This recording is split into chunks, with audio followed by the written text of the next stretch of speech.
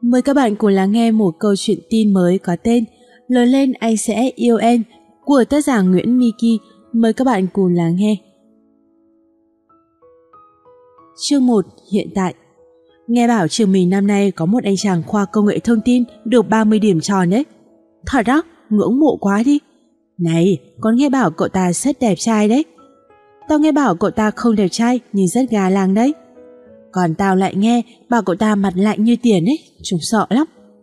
Dân công nghệ thông tin mà còn được 30 điểm thì không kiêu căng không sợ mới là lạ đấy. Thôi mọi người, đừng đoán mò nữa, lát nữa đi xem biết liền à. Dù gì thì tao cũng ngưỡng mộ anh ấy quá. Phải xem mới được. Cậu đi ngang qua sân trường và nghe mọi người bàn tán với nhau như vậy về mình. Vậy là mình đã chính thức là sinh viên bách khoa rồi. Cậu tự nghĩ rồi thưởng cho mình một nụ cười. Để lộ hai màn lùm đồng tiền trông rất là duyên và lớp cậu lặng lẽ ngồi một mình nhìn ra ngoài cửa sổ suy nghĩ về một cái gì đó. Và cậu vẫn nghe mọi người bàn tán về chàng trai nào đó là thủ khoa của khoa công nghệ thông tin. Tốt có, xấu có nhưng tất cả không quan trọng với cậu. Cậu vẫn chỉ sâu vào lối suy nghĩ của riêng mình. Thầy giáo chủ nhiệm bước vào lớp thầy nói Xin chào các tân sinh viên tôi là Phan Trọng Hùng và tôi là chủ nhiệm của lớp chúng ta. Hôm nay tôi lên lớp là để bàn với các bạn về nội quy nhà trường cũng như là của khoa. Nhưng trước hết tôi muốn các bạn chọn ra ban cán sự lớp tạm thời để quản lý. Trước tiên là lớp trưởng có ai tình nguyện không? Cả lớp xôn xao, sau đó có một bạn nữ giơ tay. Em muốn làm lớp trưởng à? Dạ không, em muốn hỏi thầy một điều thôi ạ. Ừ, em hỏi đi. Thưa thầy, có phải khoa ta có một bạn thủ khoa không ạ? Bạn ấy có học lớp mình không? Thầy giáo nhìn xe xe lớp rồi nói tiếp. Có, cậu ấy học lớp này. Cả lớp xôn xao, nữ học sinh ấy nói tiếp. Vậy thì cho bạn ấy làm lớp trưởng đi ạ. Ý kiến đó cũng rất hay. Vậy thì bạn ấy sẽ làm lớp trưởng, lớp có ai phản đối không? Thầy nhìn tất cả một lượt như để khẳng định lại lời nói ấy. Tất cả im lặng, thầy giáo nói tiếp. Vậy là được rồi, bạn Tuấn có ở đây không? Cậu giật mình khi nghe thầy giáo gọi tên mình. Em Nguyễn Minh Tuấn đâu? Cả lớp bắt đầu xôn xao khi không thể ai lên tiếng. Thưa thầy là em. Một giọng nói vang lên từ của lớp khiến tất cả ai cũng phải nhìn và có một vài tiếng ồ từ các bạn nữ. Cậu làm lớp trưởng nhá. Cậu giật mình khi thấy đề nghị mình làm lớp trưởng, cậu cũng không biết nói sao bè nói. Em không có năng lực làm lớp trưởng đâu ạ, với lại từ trước đến nay em chưa bao giờ làm lớp trưởng cả, thế nên xem xét lại và chọn người hợp lý ạ. Cậu biết cậu nói vậy cũng hơi nói dối lòng, thực sự thì cậu luôn là một lớp trưởng gương mẫu suốt 12 năm học phổ thông, không ai có thể chê năng lực của cậu. Thế cậu từ chối, thầy giáo nói. Chỉ làm tạm thời thôi mà, em cũng đã nghe rồi đấy, mọi người không ai phản đối việc để em làm lớp trưởng cả. Cậu suy nghĩ một tí rồi nói, vậy cũng được, nhưng em chỉ làm tạm thời thôi. Ừ, được rồi, chúng ta tiếp tục, đã có lớp trưởng. Có lớp phó, lớp ta là lớp công nghệ thông tin nên chúng ta sẽ ưu tiên một bạn nữ. Tiếng của thầy vẫn vang trên bục giảng, còn cậu chịu sâu vào trong lối suy nghĩ của mình. Ta lớp, cậu bước ra ngoài. Tôi có thể làm quen với cậu được không? Giọng một bạn nữ vang lên, cậu nhận ra đó là người đã giúp mình làm lớp trưởng. Ừ, cậu nở một nụ cười tươi. Bạn giỏi thật đấy, được hẳn 30 điểm. Cậu gãi đầu. Có gì đâu, may mắn ấy mà. Cô gái mỉm cười, giọng nói nhỏ nhẹ. Có gì mà khiêm tốn vậy, bạn tên Tuấn phải không? Ừ, tớ tên Tuấn, nhưng cứ gọi tớ là Miki, tớ thích mọi người gọi tớ như vậy. Cô gái thấy hơi lạ bèn hỏi cậu. Ờ, sao kỳ vậy? Cậu thở dài một tiếng rồi đáp. Cứ gọi thế đi, thế là được. À, mà cậu tên gì vậy? Tớ tên Hằng, chúng mình vừa đi vừa nói chuyện nha. Ừ, Bước về phòng trọ của mình, thấy ba bốn cô gái đang ngồi nói chuyện với hai ba chàng trai. Cậu mở lời với một nụ cười thật tươi. Chào các anh chị, nếu có nhiều tuổi hơn em và chào các bạn nếu bằng tuổi nhau. Thấy tiếng chào, mọi người đều quay mặt lại, một người lên tiếng. Cậu vui tính thật đấy. Em xin giới thiệu, em là Miki, sinh viên năm nhất, tức là khóa mới. Em ở Nghệ An, từ bây giờ em sẽ là thành viên của xóm trọ này, rất mong được sự chỉ dẫn của mọi người. Thế cậu nói vậy, mọi người nhìn nhau rồi hỏi tiếp. Nghệ An à, ở chỗ mô dứa, hi hi. Chỗ mô dứa? Cậu ngạc nhiên nhìn mọi người. Ờ, nhà chị cũng ở Nghệ An à? Ừ, Nghệ An cả. Thế là có đồng hương tàn gẫu rồi. Thôi, anh chị nói chuyện, về phòng đã nha. Cậu về nhà, mở cửa, thực sự yên tĩnh. Ở đây thật ồn ào, thật nhột nhịp và cũng rất yên tĩnh khác hẳn với cảnh ở quê, khác hẳn với nhà cậu. Cậu đóng cửa lại nằm xuống giường và bao nhiêu ký ức tràn về. À, trời mưa, mưa to quá, con thích tắm mưa lắm mẹ à, cho con tắm mưa nhé. Con cũng muốn, mẹ cho con tắm mưa nhé. Mẹ nói các con có nghe không? Không được, cả bây giờ. Ừ, con không chịu đâu, mẹ cho con tắm mưa đi. Ừ, con không chịu đâu, cho con tắm mưa một tí thôi cũng được mà. Mẹ nhá, nha mẹ, mẹ. Hai anh em cậu đua nhau năn nỉ mẹ. Thôi được, mẹ thua hai đứa dành con của mẹ như chỉ 5 phút thôi nhé. Vâng ạ, cảm ơn mẹ. Hai anh em cùng chạy ra sân, nhảy dưới trời mưa, nô đùa xếp vui, cùng nghịch nước cùng hát ca nhảy múa. Thôi vào đi con, kéo ốm đấy, cho con chơi thêm một tí đi mà. Hai anh em cậu nũng nịu, các con mà không vào là mẹ đánh đấy. Nói vậy thôi, chứ mẹ cậu không bao giờ đánh hai anh em cậu cả. Cậu rất hạnh phúc khi có một người mẹ tuyệt vời, một người em gái tuyệt vời và một người bà cũng tuyệt vời không kém. Em gái cậu bị bệnh tim bẩm sinh, cậu rất thương em gái. Thay quần áo đi các con, kẻo ốm bây giờ, nhanh còn vào ăn cơm. Dạ, à chiều nay cho bọn con xuống bà nhé. Ừ. Trời dần tạnh mưa, những cơn mưa bất chợt của mùa hè. Chú cháu chào bà ạ. Bà rất thương hai anh em cậu, có gì cũng để dành cho hai anh em cậu ăn. Các cháu xuống chơi đấy à? Vâng ạ. Các cháu có ăn bánh không? Để bà lấy. Có ạ. Hai anh em cậu ăn bánh rất ngon lành, bà cười hiền từ nhìn hai anh em, bỗng nhiên bà hỏi. Này các cháu, lớn lên các cháu sẽ làm gì? Ừm, cháu không thích lớn đâu, cháu thích như thế này để ở với bà thôi. Từ em gái cậu nói. Cháu ngốc ạ, cháu phải lớn lên ăn học rồi còn phải lấy chồng nữa chứ. Hứ, thế chồng là gì vậy bà? Có ăn được không? Bà bật cười nhìn đứa cháu gái. Cháu thì lúc nào cũng nghĩ đến ăn. Thế bà nói vậy, cậu gãi đầu rồi nhìn bà hỏi. Thế lớn lên là phải lấy chồng hả ba? Thế cháu có phải lấy chồng không? Bà mỉm cười xoa đầu cậu. Cháu ngốc quá, con trai thì lấy vợ, con gái mới lấy chồng. Thế vợ là gì vậy ba? À, vợ hay chồng đều giống nhau, đó là người sau này sẽ mang lại cho cháu niềm vui, hạnh phúc khi được ở bên người đó, sau này lớn lên cháu sẽ rõ. Thế thì cháu sẽ lấy bà, lấy mẹ cháu và lấy em gái cháu làm vợ. Vì ba người luôn làm cho cháu vui, cháu cười. Bà phì cười vì câu nói ngây ngô của cậu. Lớn lên cháu sẽ hiểu. Bà nhìn hai anh em cậu cười rồi chợt nhớ ra một cái gì đó, bà nói tiếp. À, bà có cái này cho các cháu. Gì vậy ba? Hai anh em cậu hỏi bà. Cho An cái vòng tay này.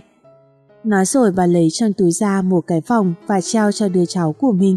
An nhận lấy rồi ngắm nghía cái vòng tay mà bà tặng rồi thốt lên. Ồ, đẹp quá! Cháu cảm ơn bà. Thấy đứa em mình có quà, cậu chờ mãi mà bà vẫn không động tĩnh gì. Cậu nóng lòng hỏi. Thế còn cháu, của cháu đâu? Đây, của cháu đây, làm gì mà vội thế? Nói rồi bà lấy trong túi ra một cặp dây chuyền, bà nói tiếp. Chiếc dây chuyền này là của ông cháu tặng cho bà, nó có một cặp, hai chiếc mỗi chiếc một nửa hình trái tim. Khi chúng được ghép lại với nhau thì vừa khít. Ngày xưa ông bà định tặng nó cho bố cháu, nhưng bố cháu không lấy nên giờ bà tặng cháu. Cháu nhớ giữ cẩn thận đấy, trên đời không có chiếc thứ ba giống thế này đâu. Sau này lớn lên cháu hãy tặng nó cho người yêu cháu nhé. Thế người yêu là gì vậy ba? À, người yêu là... Thì nói chung thì cũng giống như vợ thôi, nhưng trước khi cưới người ta gọi là người yêu, trai hay gái đều gọi là người yêu được. Bà nói khó hiểu quá. Thôi, đừng nghĩ nữa. Lớn lên rồi cháu sẽ biết. Cháu treo sợi dây chuyền này được không bà? Được chứ, để bà đeo giúp cháu. Cháu cảm ơn bà ạ. Cháu nhớ giữ cẩn thận nhé. Dạ vâng. Hai anh em cậu chơi thêm tí nữa rồi về.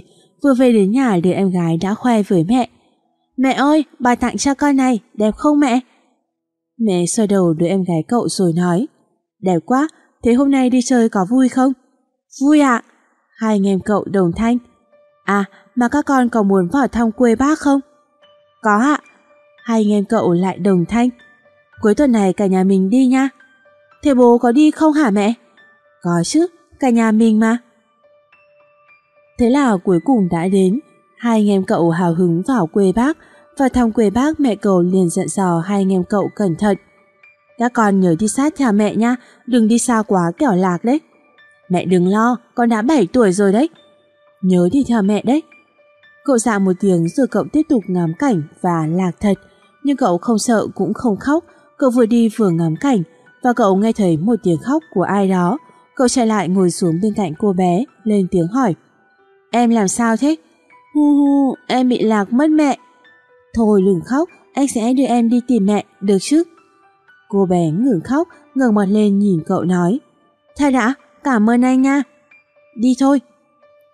Cậu chia tay cậu ra nắm lấy tay cô bé, thật ấm áp, tay cô bé mềm mại, khuôn mặt cô bé thật là dễ thương. Tóc thì búi thành hai chòm, làm sao cô bé ấy lại càng dễ thương hơn nữa. Cô bé nắm chắc lấy tay cậu đứng dậy, nhưng có vẻ như cô bé không đứng dậy được, cô bé nhan nhó. Không được rồi, chân em đau quá. Thế vậy cậu ngồi xuống lấy tay nắm lấy chân cô bé nói Anh xem nào, em có đau không? Đau lắm. Chắc bị bong gân rồi, anh ngày xưa cũng mấy lần bị như thế. Thế có lâu khỏi không thế? Em đau lắm. Đã nói đừng khóc rồi mà, để anh thổi cho đỡ đau nha. Nói rồi cậu cúi xuống thổi cho cô bé, vừa thổi vừa hỏi. Đỡ chưa?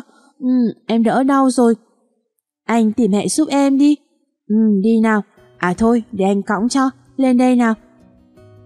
Cô bé không ngại ngùng leo lên lưng cậu, cậu thấy có một niềm vui đang dồn lên trong người cậu. Đi được một đoạn bỗng cô bé reo lên, em muốn ăn cái đó, em muốn ăn cái đó, anh mua cho em đi. Cậu bật cười vì cái tính phôi tư ngây thơ của cô bé, cũng may cậu đủ tiền để trả. Của em đây, em cảm ơn anh nha, anh ăn này. Thôi, em ăn đi, anh ăn đi cho em vui. Ừ, chỉ một phút ngắn ngủi bên cô bé mà cậu thấy thật hạnh phúc. Cậu nói tiếp. Em thích nơi này lắm à? Vâng, cô bé lên tiếng. Vậy thì anh hứa khi anh lớn lên, anh sẽ đưa em về thăm lại chỗ này. Anh hứa đó nha. Cô bé cười tinh nghịch. Ừ, anh hứa. À, còn cái này nữa. Nhất định lớn lên anh sẽ yêu em. Nhất định lớn lên anh sẽ lấy em làm vợ. Nhất định là như thế. Thế vợ là gì vậy anh? Nghe bà anh bảo vợ là người đưa lại hạnh phúc niềm vui cho mình. Thế đi lớn lên em cũng sẽ lấy anh làm vợ. Con gái thì lấy chồng chứ không phải là vợ. Thế chồng là gì thế? Thì chồng là... nói chung thì cũng giống vợ thôi. Thế á? Thế thì nhất định lớn lên em sẽ lấy anh làm chồng. Em hứa đó nha, ngoắc tay nhóc. Ngoắc thì ngoắc. Lại một điệu cười tinh nghịch vang lên. Hai người đang nói chuyện vui vẻ thì bỗng nhiên có hai bác dắt theo một cô bé chạy lại. Thảo, con là mẹ lo quá, sao con lại đi lung tung thế này? À, mẹ! Cô bé chạy lại ôm chầm lấy mẹ. Chân con làm sao thế? Chân con đau lắm, may có anh kia giúp con. Nói rồi cô bé chỉ tay về phía cậu, mẹ cô bé nhìn cậu rồi cúi xuống hỏi nhỏ với cô bé. Ai vậy con? Chồng con đấy. Cô bé cười tinh nghịch nhìn mẹ. Một người đàn ông trung niên đi đến bên cậu, hình như là bố của bé thì phải. Cảm ơn cháu nhé. Dạ không có gì ạ. Cậu lễ phép đáp. Nói rồi người đàn ông đó lại sát tay cô bé đi tiếp. Đi được một đoạn thì cô bé quay lại, mặt nhìn cậu nở một nụ cười thật tươi, tay trái đưa lên vẫy chào cậu. Tạm biệt chồng nhóc. Cậu cũng đưa tay lên vẫy chào cô bé. Tạm biệt vợ. Mấy đời bánh đúc có xương, mấy đời gì ghẻ lại thương con chồng. Mickey ơi, chiều nay có đi chợ không? Tiếng nói của chị hàng xóm lầu cậu thoát khỏi những suy nghĩ. Cậu ngồi dậy, mở cửa bước ra ngoài. À, um, cũng phải đi chợ cho biết Hà Nội chứ. Với lại em cũng chưa sắm được đồ dùng gì cả. Um, mà em ra đi học chắc bố mẹ em vui lắm nhỉ? Bố mẹ? Um, có sao không? Mẹ ơi, mẹ không được chết, mẹ không được bỏ chúng con. Hai anh em cậu ôm bà mà khóc, nhưng người mẹ mà cậu yêu thương nhất bỏ cậu mà đi. Nín đi các cháu, đừng khóc nữa, mẹ cháu đi chơi ở một nơi rất xa rồi, mẹ sẽ về với các cháu. Bà đừng lừa cháu, mẹ cháu sẽ không bao giờ về với cháu nữa đúng không? Bà nói đi, nói đi bà. Bà cậu còn biết làm gì nữa, chỉ ôm lấy hai chị em cậu vào lòng. Không có niềm vui nào vinh viễn, không có buổi tiệc nào không tàn. Người rồi sẽ già, rồi sẽ chết. không chết trước rồi cũng chết sau, đó là quy luật tự nhiên. Nhưng tại sao ông trời lại cướp lấy mất mẹ cậu khi hai anh em cậu còn là những đứa trẻ chứ? Thời gian cứ thế trôi đi, tưởng rằng thời gian có thể xóa nhả đi nỗi buồn, thì lại một lần nữa ông trời lại cướp đi mất người bà mà cậu yêu quý không kém. Giờ chỉ còn hai anh em cậu và cũng là người cuối cùng mà cậu yêu quý. Nhưng biết làm thế nào với căn bệnh tim bẩm sinh của em đây? Tính mạng của em cậu có thể chết bất cứ lúc nào. Hù, anh ơi, thằng Tùng béo lấy bánh của em. Thằng Tùng béo à, em dẫn anh đến đó đi. Vừa đi đến nơi, cậu đã hét lớn. Này, Tùng béo, sao lại lấy bánh của em tao? Tao thích, mi làm gì được tao nào? Nó kiều ngạo đáp. Mi, tóm lại là mi có định trả bánh cho em tao không? Không, nói dứt khoát. Không này. Nói xong cậu lao đến đánh nhau với Tùng béo, ngay cái tên cũng đã biết hẳn to lớn đến cỡ nào. So với dáng người nhỏ con của cậu thì cậu hoàn toàn bị nó đánh. Nhưng cậu không bỏ cuộc vì em cậu. Định đánh tao hả? Đừng mơ. Nói xong hắn bỏ đi. Cậu bị nó đánh đau điếng người nằm im tại chỗ, thế vậy em gái cậu chạy lại đỡ cậu dậy khóc thút thít. Anh ơi, anh có làm sao không? Cậu ôm em gái vào lòng. Anh xin lỗi, anh xin lỗi em, anh không bảo vệ được em, không bảo vệ được em. Em xin lỗi. Anh nhất định phải bảo vệ em, anh nhất định sẽ không cho ai ăn hiếp em nữa. Vừa về đến nhà, cậu đã thấy bố chờ sẵn ở sân, trên tay cầm theo một cái roi. Thấy cậu về, bố cậu chạy lại kéo tay cậu vào nhà quá lớn. Tuấn, ai đánh nhau hả? Con... đánh nhau này. Bố cậu không cho cậu giải thích đã đánh cậu, đây là lần đầu tiên bố cậu đánh. Ai sẽ mày đánh nhau hả? Đúng là hư hỏng rồi. Sư lời bố cậu lại đánh tiếp. Tao cấm mi lần sau không được đánh nhau nữa, nếu không thì đừng có trách tao. Ai cho mày đi học võ? Học võ để ăn cướp à? Để đi giết người à? Con, học võ này. Tao cấm mi không được đi học võ nữa nghe chưa? Dạo này không có mẹ, mi hư rồi. Rồi bố cậu lấy vợ hai, tưởng rằng cậu sẽ được yêu quý như ngày trước. Cậu sẽ được sống lại hạnh phúc như ngày xưa, nào ngờ bà ấy đúng là một bà xì ghẻ. Nhân gia nói không sai, mấy đời bánh đúc có xương, mấy đời xì ghẻ lại thương con chồng. Bà ta suốt ngày bắt cậu làm việc, sai cậu làm hết việc này đến việc khác. Rồi bà ta xin cho bố cậu một thằng con trai, xin cho cậu một đứa em trai. Đúng là mẹ nào con đấy, không khác gì tính mẹ nó. Năm nay cậu 12 tuổi, bệnh tim của em cậu càng ngày càng nặng rồi cũng bỏ cậu mà đi.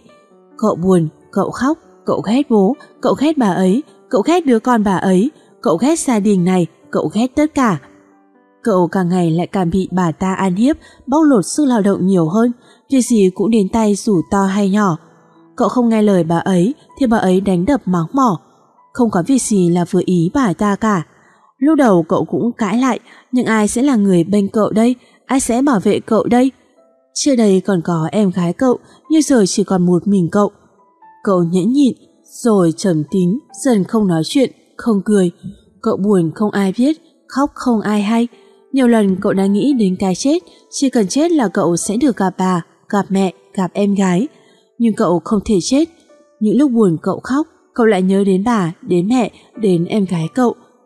Lại lấy sợi dây chuyền của bà tặng cậu, cậu lại có thêm dũng khí để sống tiếp. Cậu ước một ngày khi nhà mát lại sẽ không bao giờ tỉnh dậy nữa, lúc đó cậu sẽ được gặp được những người cậu yêu thương. Thấy cậu đứng im không trả lời, chị hàng xóm nói tiếp. Này Mickey, em không sao chứ? Tiếng nói của chị ấy làm cậu thoát khỏi những suy nghĩ. À không, mà chị hỏi gì nhỉ? Chị hỏi là em đỗ đại học, chắc bố mẹ vui lắm nhỉ? À, um, đương nhiên rồi, vui chứ, bố mẹ nào mà chẳng vui khi con mình được đi học. Cậu nói mà lòng cứ đau như sao cắt, thực sự mà nói thì tuy bố cậu cũng muốn cậu đỗ đạt, nhưng còn bà ta, bà ta thực sự chẳng muốn cho cậu đi học suốt nào. Khi nhận được xe báo trúng tuyển của trường Đại học Bách Khoa, cậu đã vô tình nghe lén được những cuộc nói chuyện của bố cậu với bà ta, chủ yếu là ngăn cản cậu đi học với lý do là kinh tế khó khăn, việc đồng áng vất vả. Thực chất bà ta sợ khi cậu đi rồi sẽ không còn ai sai bảo, không còn ai để bắt nạt. Khi cậu đi rồi, bà ta sẽ mất một ô xin không lương và rồi việc gì cũng đến tay. Khi nghe được những lời đấy, lòng cậu như thắt lại và cậu cũng đã hạ quyết tâm nếu bố cậu nghe lời bà ta thì cậu cũng phải quyết tâm bỏ đi. nhưng cũng may người bố đã cho phép cậu đi học. Mà sao em lại tên là Miki, không phải tên thật đó chứ? Ừ, không phải tên thật. Thế tên thật của em là gì? Chị tò mò. Em là Nguyễn Minh Tuấn. Sao em lại lấy tên mình là Miki? À... Lớp chúng mình năm nay có một bạn mới chuyển đến. Vào đi em. Nói rồi một người bạn nữ bước vào, thầy giáo nói tiếp. Bạn này là Nhung, em ngồi chỗ này nhé. Nhung dạ một tiếng rồi đi xuống chỗ ngồi của mình, bên cạnh cậu. Nhung ngồi xuống quay người sang cậu bắt chuyện. Chào bạn, mình là Nhung, mình mới chuyển vào trường nên chưa biết, mong bạn giúp đỡ. Mà bạn tên gì nhỉ? À, um, mình tên Tuấn. Giờ ra chơi, mọi người ùa nhau ra ngoài, Nhung định ra chơi với các bạn thì thấy cậu vẫn ngồi đấy quay mặt ra cửa sổ. Thế vậy Nhung lên tiếng. Sao bạn buồn thế? Thấy Nhung hỏi vậy, cậu giật mình quay lại nhìn Nhung rồi nói. Tớ á, tớ vẫn bình thường mà, sao bạn lại nói thế? Nhìn ánh mắt của cậu có vẻ như buồn buồn thế nào ấy. Thế nào là thế nào? Tớ không biết, mà sao cậu không ra chơi cùng các bạn? Các bạn? Ừ, không thích. Sao lại không thích? Vì tớ không thích thế thôi. Nhưng mà tớ vẫn thấy cậu buồn buồn thế nào ấy. Sao bạn lại nghĩ thế? Tớ vẫn như mọi ngày mà. Ánh mắt của cậu hiện lên một chữ buồn ghê kia. Chữ buồn? Ở đâu? Đấy, thấy chưa? Giấu đầu hở đuôi nhá. Thôi, có chuyện gì thì cậu kể cho tớ nghe đi. Nếu giúp được tớ sẽ giúp. Không có gì đâu, cậu ra chơi với các bạn đi. Đi, chúng ta cùng đi. Không, tớ không đi đâu. Cậu không đi thì tớ cũng không đi vậy. Tùy cậu. Nói rồi cậu quay mặt ra cửa sổ. Bạn buồn thật à? Kể tớ nghe đi, biết đâu tớ có thể giúp. Hay là tớ kể chuyện buồn của tớ, rồi lát nữa cậu kể chuyện buồn của cậu cho tớ nghe. Thế có được không? Cậu cứ kể đi. Hồi tớ lớp 5, các bạn trong lớp đều được tiên tiến, chỉ mỗi tớ không được. Tớ buồn lắm, rồi tớ chạy về nhà ôm lấy mẹ mà khóc. Mẹ, cậu lại nhớ đến mẹ, ước gì bây giờ có mẹ ở bên cạnh cậu để cậu có thể xà vào lòng mẹ, ôm lấy mẹ mà khóc. Này, Tuấn có nghe tớ nói gì không thế? À ừm, mà chuyện đó có gì mà buồn? Mà kệ, tớ kể rồi, đến lượt cậu. Không tính, chuyện đó chẳng có gì mà buồn cả. Cậu xua tay. Mà kệ, không tính không tính, chuyện đó không tính. Cậu cười có lẽ đã rất lâu rồi cậu không còn biết đến tiếng cười là gì. Ơ, cậu có sợi dây chuyền đẹp quá, cho tớ xem một lát được không? Không được không được, cậu từ chối. Không được thì thôi, làm gì mà ghê thế? Tuấn, cười lên xem nào, trông cậu cười thật đẹp đấy, sao lúc nào Tuấn cũng buồn vậy? Chứ có chuyện gì vui đâu mà cười, chả lẽ ngồi cười một mình à? Sao Tuấn không ra chơi với các bạn cho vui? Không thích, Tuấn thích ở một mình. Sao thế? Từ lúc Nhung chuyển vào lớp này, có lẽ Nhung chưa hiểu hết trước đây Tuấn như thế nào, nhưng Nhung thấy Tuấn sao sao ấy. Sao là sao? Tuấn ít nói, không hay nói chuyện với các bạn, không hay cười, lúc nào cũng thấy buồn. Thế á? Ừ, nếu Tuấn thấy buồn thì Tuấn hãy nói chuyện với bạn bè, các bạn sẽ giúp cậu quên đi nỗi buồn, sẽ không thấy buồn nữa. Ừ, sao chị ư vậy? Thì Tuấn biết nói gì, Nhung toàn nói đúng. Thực ra thì trước đây Nhung cũng có một thời gian như Tuấn, nhưng buồn mãi có được gì đâu, buồn mãi có quên được buồn đâu, chỉ có vui vẻ là có thể quên đi được nỗi buồn, sẽ không còn thời gian để nhớ đến cái buồn nữa. Thế à, thế thì cậu thử nói chuyện buồn của cậu xem nào, hay là như hôm qua? Không. Nhung thở dài một tiếng rồi cúi đầu nhìn xuống bàn. Cậu im lặng như chờ đợi những lời tâm sự của Nhung. Nhung nói tiếp. Thực ra thì bố Nhung mất khi Nhung 8 tuổi. Nhung yêu bố lắm. Lúc đầu Nhung cũng như Tuấn, buồn giàu, không thích nói chuyện với bạn bè, lúc nào cũng cứ thích ngồi một mình. Nhưng tớ nhận ra buồn mãi cũng không giúp được gì. Vì vậy tớ vượt qua tất cả và trở lại như Nhung của ngày xưa, vui vẻ yêu đời. Tuấn xin lỗi nha. Không sao, đến lượt Tuấn kể, xem nào. Ừ, thì, thì... Nhung đã kể cho Tuấn nghe tất cả, chẳng lẽ Tuấn không kể được cho Nhung nghe chuyện buồn của Tuấn sao? Thì, thì... Cậu úp mặt xuống bàn. Tuấn nói đi. Cậu thở dài. Mẹ Tuấn mất khi tới 9 tuổi, rồi bà Tuấn cũng mất khi Tuấn lên 10. Năm ngoài em gái Tuấn cũng bỏ Tuấn mãi đi. Tất cả những người mà Tuấn yêu quý để bỏ Tuấn mãi đi. Cậu khóc, nước mắt chảy dài trên má, cậu nói tiếp. Nhung thử nói xem, có phải Tuấn đã làm gì sai mà ông trời trừng phạt với Tuấn như thế? Tuấn còn có bố mà. Bố ư? Cậu cười khẩy một tiếng. Tuấn ghét bố, ông ấy đâu quan tâm đến Tuấn, đâu biết Tuấn nghĩ gì, muốn gì, suốt ngày chỉ lo đi kiếm tiền, tớ không cần cái đó, ông ấy còn lấy vợ hai nữa. Thế là Tuấn có mẹ mới rồi còn gì? Lúc đầu tớ cũng nghĩ có mẹ mới rồi, mình sẽ trở lại như xưa, nào ngờ bà ấy đâu có quan tâm đến Tuấn, suốt ngày chỉ bắt Tuấn làm việc, là không đúng với bà là bà ấy lại đánh đập, chửi bới Tuấn. Nhung vỗ vai cậu an ủi, thôi đừng buồn nữa, trước đây Nhung cũng như Tuấn mà, Nhung là con gái, Nhung còn có thể vượt qua, Tuấn là con trai chả lẽ không bước qua nổi, tương lai còn dài mà, mà Tuấn không có bạn thân à? Trước thì có, nhưng giờ không ai chịu làm bạn với Tuấn cả, với lại Tuấn chẳng thích nhiều bạn cho lắm. Thế à, hay từ giờ trở đi Nhung sẽ là bạn thân của Tuấn nhé? Bạn thân? Ừ, Nhung chịu là bạn thân với Tuấn ư? Có sao không? À, không sao. Quy định thế nhé. Ừ, từ giờ trở đi có chuyện gì dù buồn vui cũng phải kể cho Nhung nghe đấy. Cậu khẽ gật đầu. Từ ngày có Nhung, cậu trở nên hay cười, hay nói, trở thành một con người vui vẻ, khiến mọi người phải nghĩ khác về mình. Hai người trở nên thân thiết, mọi chuyện buồn vui trong cuộc sống đều kể cho nhau nghe. Để Nhung xem có cái tên gì hay hay để đặt biệt danh cho Tuấn không nào? Cậu gãi đầu tỏ vẻ khó hiểu nói. Biệt danh, biệt danh gì chứ? Nhung mỉm cười nhìn cậu nói. Để gọi, ờ, xem Nhung đặt biệt danh cho Tuấn thế nào nào? Mike, cái tên này hay đấy. Mai á, sao đặt tên giống con gái vậy? Không phải là Mai, mà là Miki, Tuấn đúng là ngốc thật. Thế Miki có nghĩa là gì? Nhung nhìn cậu cười thầm. Miki là ngốc nghếch. Dám gọi Tuấn là ngốc nghếch á? Thì đúng như thế còn gì? Ghét Nhung quá đi. Ai bảo Tuấn ngốc cơ chứ? Ngốc mà cũng có người làm bạn thân với Tuấn đấy thôi. Nhung cười hùa vào. Từ hôm nào Tuấn nhà ta biết cách nói đùa thế nhỉ? Thôi, không nói chuyện này nữa. Không nói thì thôi. Hai người ngồi trên ghế đá ngắm lá rơi, bỗng nhiên cậu giật mình nhưng chợt nhớ ra cái gì đó. Cậu nói, à, nhưng có muốn xem sợi dây chuyền của Tuấn không? Có chứ, nó đẹp thật, với lại rất lạ. Nhung thích không? Nhung thích lắm. Nếu Nhung thích thì Tuấn, Tuấn tặng cho Nhung đấy. Nói rồi cậu đưa cho Nhung sợi dây chuyền của cậu, Nhung nhận lấy ngắm nghía một lúc rồi ngước mắt lên nhìn cậu. Nhưng tại sao lại tặng cho Nhung? Thực ra thì thì sợi dây chuyền này nó có một cặp của bà Tuấn tặng cho Tuấn. Thế thì Nhung không dám nhận đâu. Nhung đưa cho Tuấn sợi dây chuyền mà cậu vừa đưa cho Nhung. Cậu xua tay miệng ấp á ấp úng không nói thành lời. Nhưng Tuấn, Tuấn, bà, bà Tuấn bảo sau này nếu nếu ai mang lại cho Tuấn hạnh phúc, niềm vui thì hãy tặng một chiếc cho người ấy. Nghe cậu nói vậy Nhung tò mò. Làm gì thế? Thì thì Tuấn, Tuấn, có gì mà cứ ấp à ấp úng thế? Tuấn, Tuấn, Nhung, Nhung, Nhung làm người yêu Tuấn nhé.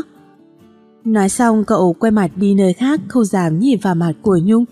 Nhung không còn dám nhìn cậu nữa, mắt long lanh, đôi má bắt đầu ửng hồng, Nhung cúi mặt, tim đập nhanh, hai tay vò tròn cái vạt áo, miệng ấp úng không nói thành lời.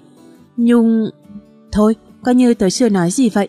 Cậu buồn khi thấy Nhung ấp úng như thế, cậu quay người bước đi nặng nề, đôi mắt rừng rừng buồn khóc. Tại sao lại như vậy chứ? Lẽ nào từ trước đến nay Nhung không hề thích mình?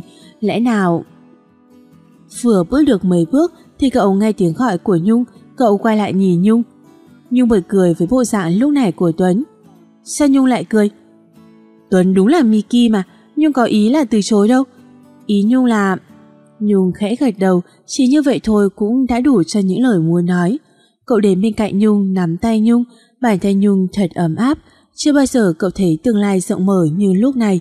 Cậu lấy trong túi ra một sợi dây chuyền rồi nói Để Tuấn đeo cho Nhung nha. Nhung khẽ gật đầu.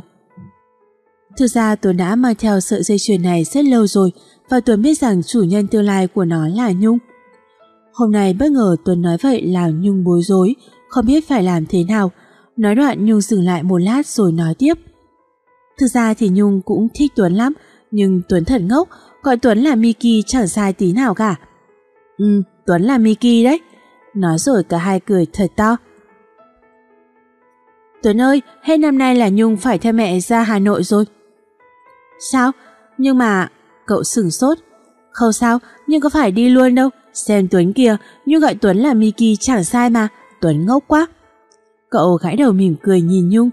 Ừ, nhớ thường xuyên viết thư cho Tuấn nhé. Nhung biết rồi, Nhung vẫn đang làm người yêu của Tuấn mà. Nhất định Tuấn sẽ cố gắng học thật giỏi để ra Hà Nội gặp Nhung, nhất định như thế. Ừ, Nhung tặng Tuấn cây sáo này để Tuấn làm kỷ niệm, lúc nào nhớ Nhung thì mang nó ra ngắm, xem như Nhung ở bên cạnh. Cậu gật đầu, cầm chiếc sáo trúc trên tay ngắm nghía. Mà Nhung sau này định thi trường gì thế? Nhung sẽ thi vào Bách Khoa. Tuấn cũng vậy, thế thì hẹn Tuấn tại trường Đại học Bách Khoa nhé. Cậu lại gần Nhung, nắm tay của Nhung. Ừ, chúng ta cùng cố lên nha. Ngài Nhung phải theo mẹ ra Hà Nội mỗi lúc một gần mà cậu chẳng muốn điều đó xảy ra tí nào cả. Nhưng mà thời gian thì vẫn cứ trôi rồi ngày chia tay cũng đến. Nhung đi nhé. Ừ, thường xuyên viết thư cho tớ nhé. Hứa rồi Nhung là không được buồn, hãy vui lên, cuộc đời đang ở phía trước, Nhung sẽ chờ Tuấn. Hứa đó nha, ra đến nơi nhớ viết thư cho Tuấn nhé. Cậu bật khóc, hai dòng nước mắt cứ chảy. Không được khóc, nếu khóc là Nhung giận Tuấn đấy. Tuấn xin lỗi.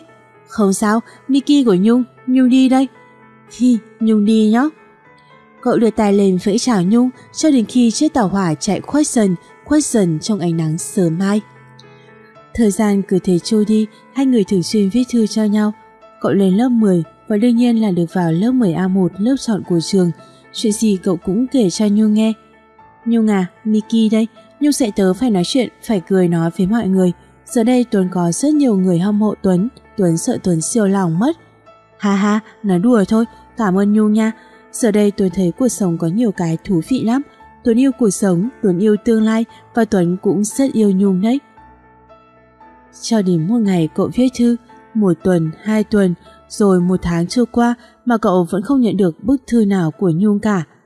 Cậu đã thử viết thêm nhiều bức thư nữa nhưng kết quả vẫn vậy. Ngày nào cậu cũng xuống thư viện trường mong sẽ nhận được thư của Nhung. Và rồi cuối cùng cũng có một bức thư của Nhung mà cậu mong muốn. Cậu vui lắm, cậu lấy thư rồi chạy nhanh về lớp. Mở thư. Tay cậu run run. Mắt cậu rưng rưng, cậu suýt bật khóc, cậu chạy nhanh ra khỏi lớp chạy thật nhanh về nhà để không ai biết là cậu khóc, rồi cậu khóc thật to. Tại sao? Tại sao ông trời lại đối xử với tôi như thế? Tôi đã làm sai điều gì mà ông lại trừng phạt tôi như thế? Ông hãy nói đi, tại sao? Tại sao những người con gái tôi yêu quý, ông liều cướp đi của tôi? Ông hãy nói đi, tại sao lại thế?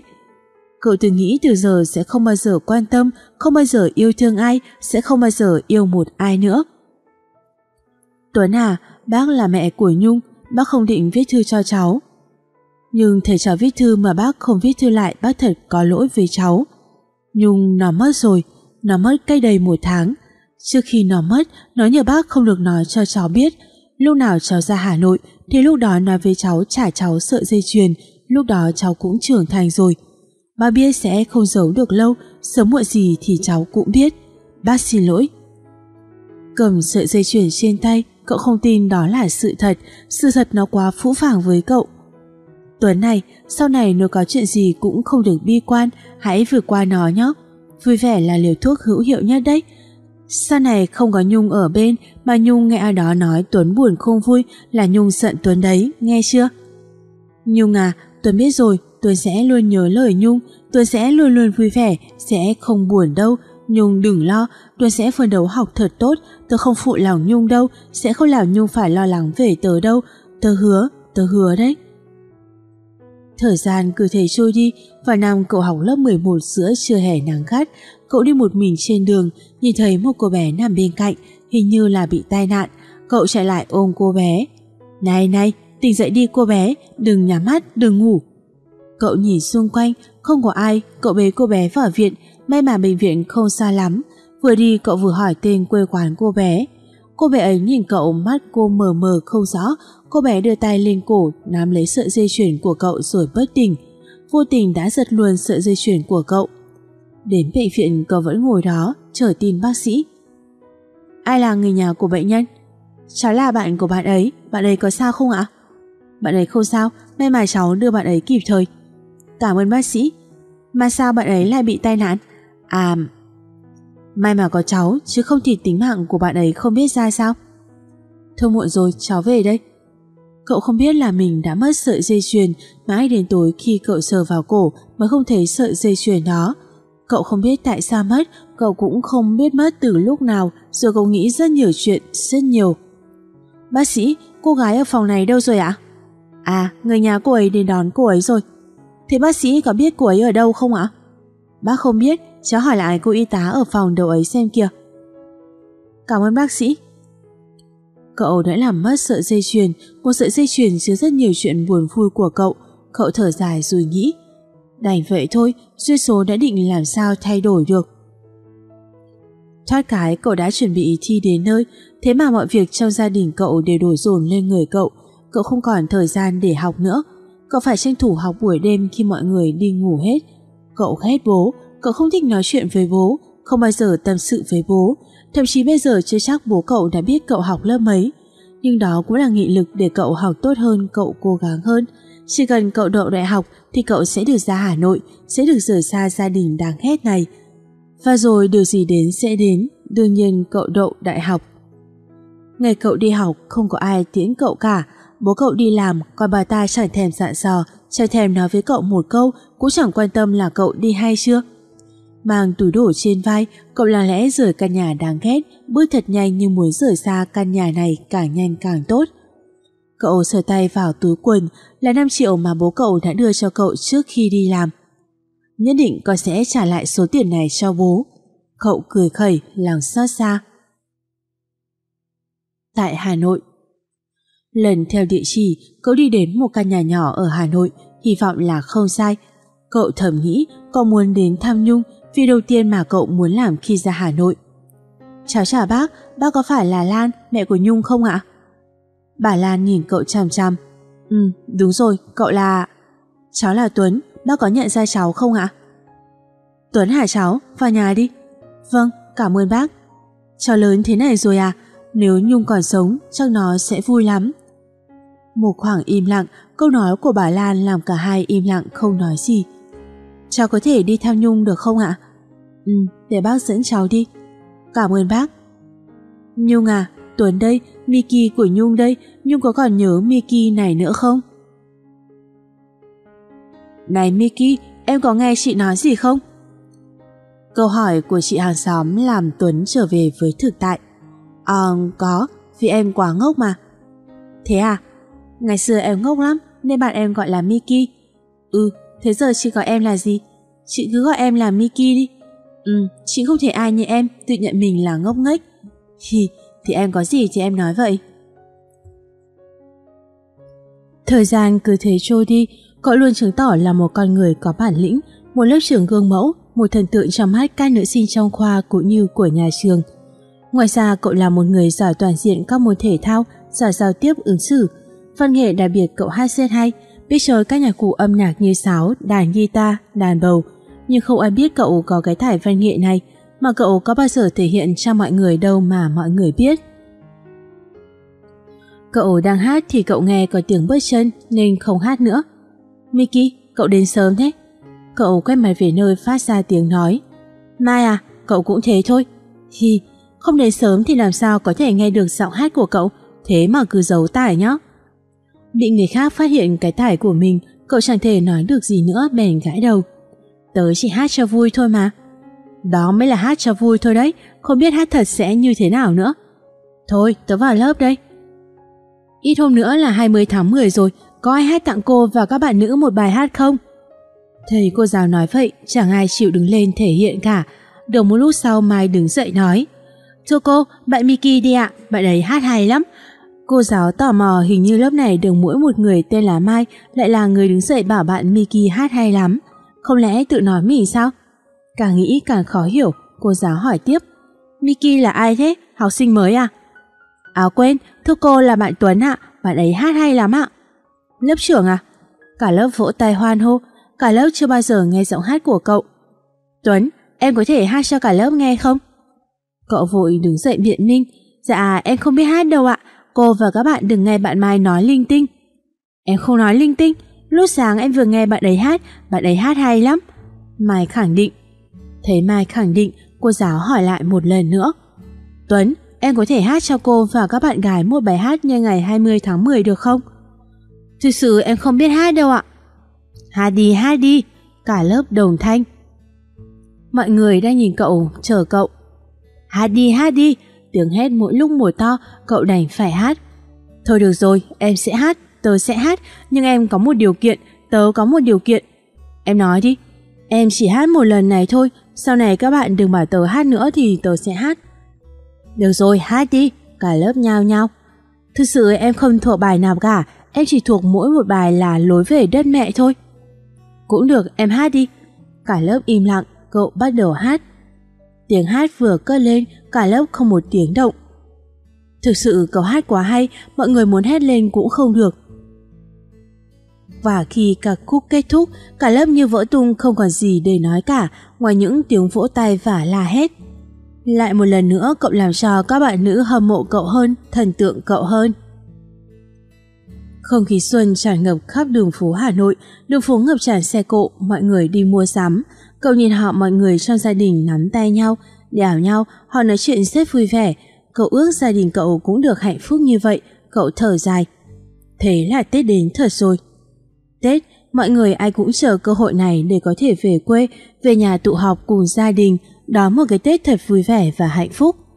Còn cậu, Tết là một điều gì đó khủng khiếp, về quê với cậu là một cực hình, cậu chẳng bao giờ mong đợi hay nghĩ tới điều đó cả. Cậu ghét nó, hay nói đúng hơn là cậu ghét nhìn thấy gia đình cậu. Cậu ghét bố, cậu ghét bà ta, cậu ghét đứa em của mình, cậu ghét tất cả. Ít ra ở đây còn có tiếng cười, còn có sự quan tâm, chia sẻ, còn nơi đó chứa bao nhiêu sự đau khổ của cậu. Năm học sau, cậu tham gia đội sinh viên tình nguyện của trường nhằm tìm thấy niềm vui, tìm thấy nụ cười. Đang ngồi thì bỗng có một cô bé tiến lại gần cậu hỏi Anh ơi, cho em hỏi tí được không ạ? Cậu ngước nhìn cô bé Ừ, bạn cứ hỏi tự nhiên Phòng nộp hồ sơ là ở đâu ạ? Bạn là sinh viên mới à? Vâng, để mình dẫn đi nhé Thế thì cảm ơn anh nha Cậu đứng dậy dẫn cô bé đi Đi được một đoạn cô bé hỏi Mà anh tên gì? À, cứ gọi anh là Miki Miki? Cô bé tỏ ra vẻ khó hiểu Ừ, cứ gọi thế đi. Mà anh là sinh viên năm mấy thế? Anh năm hai. Mà anh năm nay bao nhiêu tuổi thế? 20, mà em hỏi hơi nhiều rồi đấy, không giới thiệu về mình đi. Bị đột ngột hỏi lại, cô bé đỏ mặt. Anh có hỏi đâu mà, em tên là Thảo, năm nay 19 tuổi. Đến rồi đấy, mà em đã tìm được phòng trọ chưa? À, chưa, cô bé cười buồn. Có cần anh tìm giúp không? Cô bé mắt lòng lành để cảm ơn nhìn cậu. Được thế thì còn gì bằng, anh tốt quá. Có gì đâu, nhiệm vụ của bọn anh mà, em gặp ai cũng vậy thôi. Gần nhà anh có một dãy trọ mới xây, nhìn cũng được, cũng khá rộng. Xong rồi tí nữa anh dẫn em đi xem. Ừ, cảm ơn anh. Cô bé nở một nụ cười trong sáng, trông thật thân quen lạ thường. Em thấy thế nào? Cũng được ạ. Ok, anh đã hoàn thành nhiệm vụ, anh đi đây. Mà anh ơi, sao? Nhà anh ở đâu? À, anh không xa lắm đâu, ở ngay đây này. Nói rồi cậu chỉ tay về phía đông. Vâng, cảm ơn anh vì tất cả nhé. Anh ơi, cho em ngồi đây được không? Ừ, bạn cứ ngồi tự nhiên.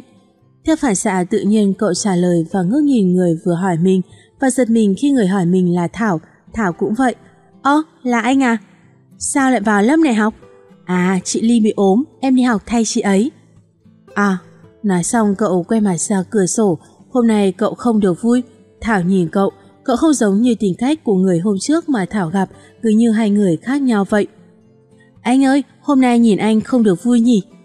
Nghe Thảo nói vậy, cậu giật mình quay lại nhìn Thảo. Hả, đâu có đâu, ngày nào chả như ngày nào. Không, em thấy khác, hôm buổi đầu tiên em gặp anh. Khác thế nào? Thì nhìn có vẻ buồn. Tại sao em lại nghĩ thế? Nhìn ánh mắt anh là biết rồi. Nhìn ánh mắt? Ừ, không phải đâu, ánh mắt anh hiện lên một chữ buồn kia kìa. Ánh mắt, nỗi buồn. Nhưng mà tớ vẫn thấy cậu buồn buồn thế nào ấy. Sao bạn lại nghĩ thế, tớ vẫn như mọi ngày. Ánh mắt của cậu hiện lên một chữ buồn kia kìa. Chữ buồn, ở đâu? Đấy thấy chưa, giấu đầu hở đuôi nhá. Thôi có chuyện gì thì cậu kể cho tớ nghe đi, nếu giúp được tớ sẽ giúp. Quá khứ tràn về, trước đây là Nhung, còn giờ đây là Thảo, Vậy là người thứ hai có thể nhìn thấy lòng cậu.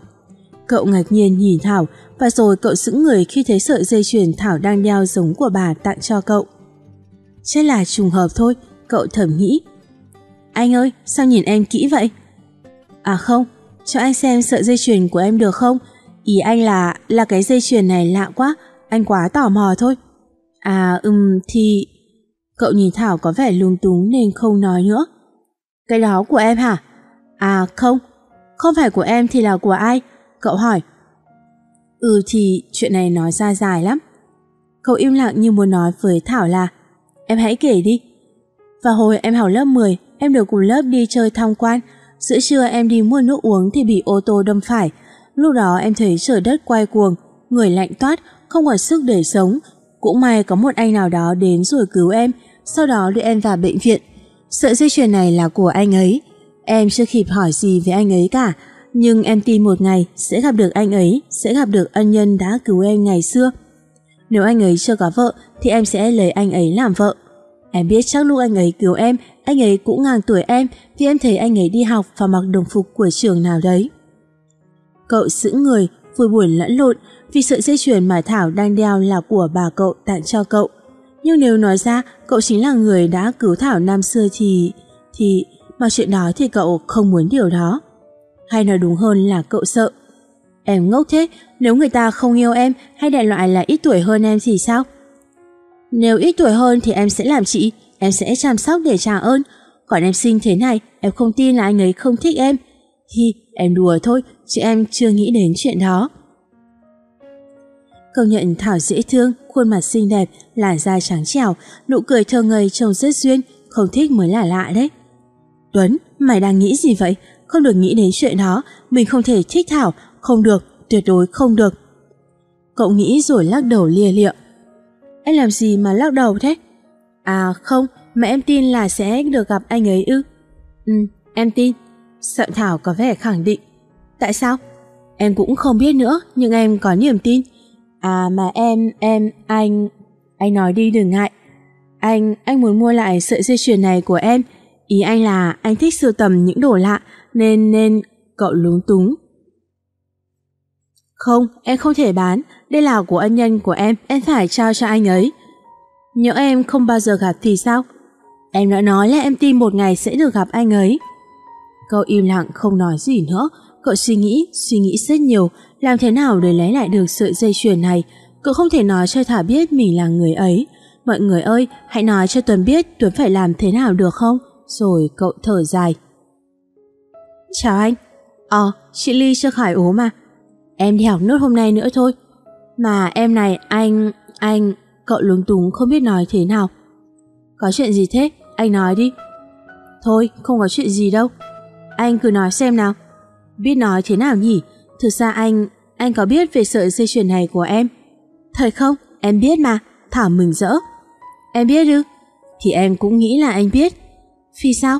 Thì những người bạn của em thấy sợi dây chuyền này không ai phản ứng như anh cả. Vì thế mà em biết mà có lẽ anh biết. như thôi, anh nói đi, là ai, tên là gì, giờ sao rồi, có vợ chưa? Thảo hỏi dồn dập. Thực ra thì, thì, cậu lúng túng không biết nên nói sao cho Thảo hiểu, trong khi Thảo dục cậu trả lời. Sao lúc nào anh cũng ấp bà ấp úng thế? Thì anh ấy là bạn của anh, nhưng anh ấy chết rồi. Sao? Thảo sửng sốt. Ừ, anh ấy chết rồi. Trước khi chết anh ấy bảo anh khi nào có dịp thấy sợi dây chuyền này thì hãy xin lại hộ anh ấy, vì đây là vật kỷ niệm của anh ấy. Anh ấy chết lúc nào? Tại sao chết? À, anh ấy chết lúc anh ấy học lớp 12, bị tai nạn em à, cũng vì anh đã hứa với anh ấy nên... Ừ, em hiểu rồi. Vậy em có thể... Ừ, giờ anh ấy chết rồi, em giữ nó làm gì nữa? Thảo buồn và không nói gì thêm, Thảo đưa tay lên tháo cái sợi dây chuyền xuống nắm chặt trong tay ngắm thêm chút nữa. Dù gì thì đây cũng là một vật kỷ niệm của Thảo. Nó đã gắn bó với Thảo cũng khá lâu rồi nên cũng có đôi chút luyến tiếc. Nhưng người ta cũng chết rồi, giữ lại cũng còn ý nghĩa gì chứ. Thảo thầm nghĩ rồi đưa cho cậu sợi dây chuyền. Cảm ơn em nha. Cầm sợi dây chuyền trong tay, lòng cậu vui sướng lạ thường. Còn Thảo trái ngược với tâm trạng của cậu, Thảo cứ nghĩ một ngày sẽ gặp được ân nhân cứu mạng mình năm xưa, nào ngờ một ước mơ mỏng manh như thế cũng tan thành mây khói. À anh ơi, lúc nào rỗi anh kể cho em nghe về anh ấy nhé. Ừ. Đang ngồi xem lại mấy bài tập ở trong nhà thì có tiếng gõ cửa, cậu ra mở cửa xem là ai, hóa ra là Thảo. Thảo à, vào đi. Vâng, anh có rỗi không? Ừ, có. Anh kể cho em nghe đi. Kể chuyện gì? Tỏ ra vẻ khó hiểu cậu nhìn chằm chằm vào Thảo. Thì chuyện gì nữa? Hôm nọ anh hứa. Đến giờ cậu mới biết đó là chuyện gì. À, anh quên mất. Anh ấy tên Hùng. Anh ấy thế nào? Anh ấy xấu tính lắm, anh ấy là người xấu. Thảo nhàn mặt cao mày. Anh đùa em à, xấu mà anh vẫn kết bạn. Ờ, cậu cười thật đẹp, thực ra anh ấy là một người bình thường như bao người khác thôi, không có gì đặc biệt cả. À mà anh ơi, hôm nào anh về quê, anh có thể cho em đi thăm hộ anh ấy được không? Em muốn thắp cho anh ấy nén hương, xem như là trả ơn anh ấy. À thì, thì... Thảo bất ngờ đề nghị làm cậu không biết xử trí ra làm sao. Thảo nhìn cậu hỏi tiếp. Sao? Không được ạ? Không phải thế, nhưng gia đình anh ấy chuyển vào Nam rồi. Em đâu đi thăm bố mẹ anh ấy, em chỉ muốn thắp cho anh ấy nén hương thôi. Thì, thì... Anh cho em về thăm anh ấy đi mà. Thảo nũng nịu, khuôn mặt trông rất dễ thương. Chuyện đã đến nước này thì còn biết phải làm gì nữa, ném lao thì phải theo lao thôi. Ừ, thôi được rồi. Anh hứa đó nha. Ừ, ngoắc tay nhá. Nói xong Thảo giơ tay ra, cậu lưỡng lự một lát cũng giơ tay ra. Ngoắc thì ngoắc. Mẹ ơi, nơi này đẹp quá, con muốn ở đây ngắm tí. Ừ, nhớ theo sát mẹ nhé. Dạ vâng ạ. Cô bé ngơ ngẩn ngắm cảnh mà quên đi theo mẹ và cô bé bị lạc. Mẹ ơi, mẹ ơi, à, cô bé bị phốc ngã. Cô bé khóc, bỗng nhiên có một cậu bé nào đó đến bên cô bé, ngồi xuống bên cạnh. Em làm sao thế? Sao lại khóc? Hu hu, em bị lạc mất mẹ. Thôi đừng khóc, anh sẽ đưa em đi tìm mẹ, được chứ? Khả đắc, cảm ơn anh nha. Đi thôi. Cậu bé chỉa tay ra nằm lấy tay cô bé, nhưng cô bé đau quá không đứng dậy được, cô bé đáp. Mà không được rồi, chân em đau quá. Anh xem nào, em có đau không? Đau lắm. Cha bị bong gân rồi, anh ngày xưa cũng mấy lần bị như thế. Thế có lâu khỏi không anh? Em đau lắm. Đã nói đừng khóc rồi mà, để anh thổi cho đỡ đau nha. Nói rồi cậu bé cúi xuống thổi cho cô bé vừa thổi vừa hỏi. Đỡ chưa? Ừ, em đỡ đau rồi, anh tìm mẹ giúp em đi. Ừ, đi nào. À thôi, để anh cõng cho, lên đây nào. Em muốn ăn cái đó, em muốn ăn cái đó, anh mua cho em nhé. Dứt lời cậu bé lại gần quán kẹo bông rồi mua cho cô bé một cái thật to. Em cảm ơn anh nha, anh ăn này. Thôi em ăn đi. Anh ăn đi cho em vui. Ừ, cậu bé dừng một tí rồi nói tiếp. Em thích nơi này lắm à? Vậy thì anh hứa khi anh lớn lên anh sẽ đưa em về thăm lại chốn này. Anh hứa đó nha. Cô bé cười tinh nghịch. Ừ, anh hứa. À, còn cái này nữa, nhất định lớn lên anh sẽ yêu em, nhất định lớn lên anh sẽ lấy em làm vợ, nhất định là như thế. Reng, chuông điện thoại reo, Thảo tỉnh giấc, một giấc mơ, một kỷ niệm mà đã lâu rồi Thảo không còn nhớ nữa. Alo, mẹ à? Hôm nay cậu đã lừa dối một cô bé, cậu cảm thấy hối hận nhưng cậu không thể nói cho Thảo biết toàn bộ sự thật được. Cậu thở dài, cậu buồn rầu muốn ra ngoài đi dạo cho đỡ buồn. Thảo à, xin lỗi, xin lỗi vì đã lừa dối cô, nhưng tôi thực sự không muốn thấy một điều gì đó nữa xảy ra. Mọi người ơi, thực sự Tuấn làm như thế là đúng hay sai? Nếu sai thì mong mọi người tha thứ cho Tuấn nhé.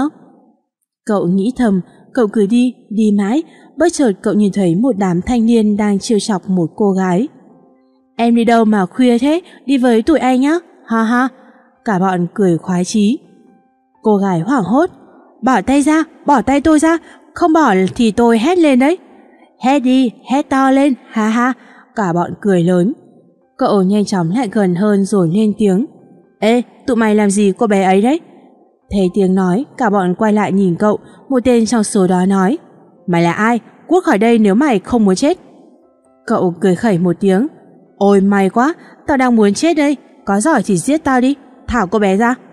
Mày giỡn mặt hả? Thật nực cười, mày muốn chết thì tao sẽ cho mày chết. Tụi bay.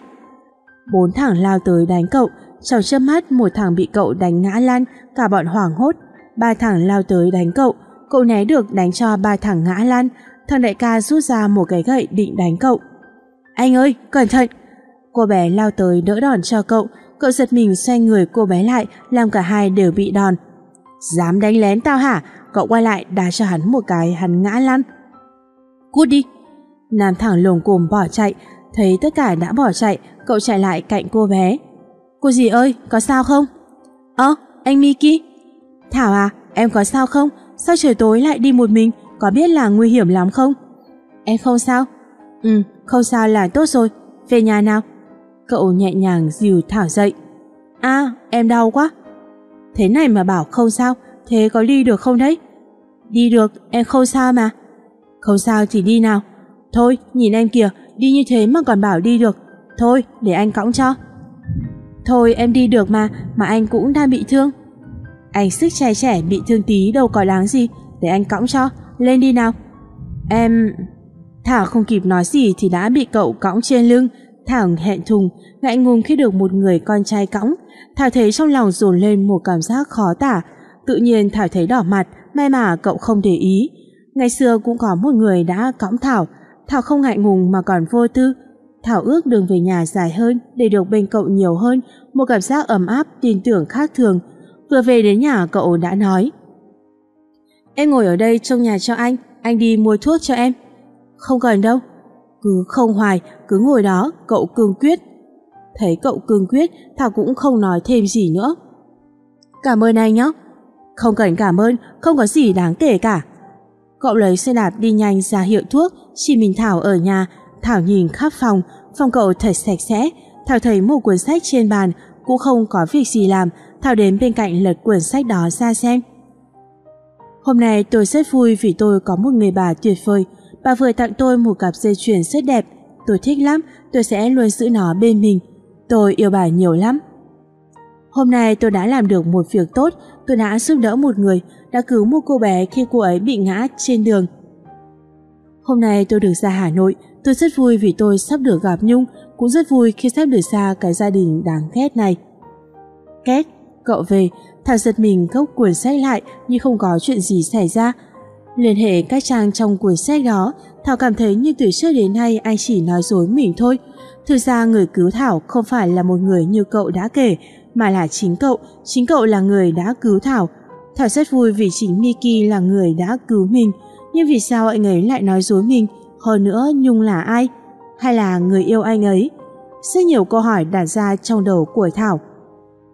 Thảo, hả? Em đang nghĩ gì vậy? Không, em đang nghĩ chuyện vừa rồi thôi, cảm ơn anh nhé. Lại cảm ơn rồi, cứ cảm ơn nhiều không chán à? Hi hi, mà sao trời tối mà đi đâu một mình thế, có biết là nguy hiểm lắm không? Thảo vừa nghe cậu nhắc đến chuyện đó thì trong lòng Thảo thấy buồn khôn xiết. Cậu thấy thế nhẹ nhàng hỏi Thảo. Có chuyện gì thế? Nói anh nghe đi. Mắt Thảo rưng rưng nước mắt. Không có gì đâu. Thảo, có xem anh là bạn không? Có chứ. Thế thì có chuyện gì phải kể cho anh nghe? Em... Thảo bật khóc, khóc thật to. Có chuyện gì em nói đi, đừng khóc nữa. Anh Mickey ơi, em, em... Em nói anh nghe đi. Gia đình em thiếu nợ người ta, bây giờ họ đến đòi nợ, nếu hai ngày nữa mà không có là bố em phải vào tù, phận làm con mà em chẳng làm gì được.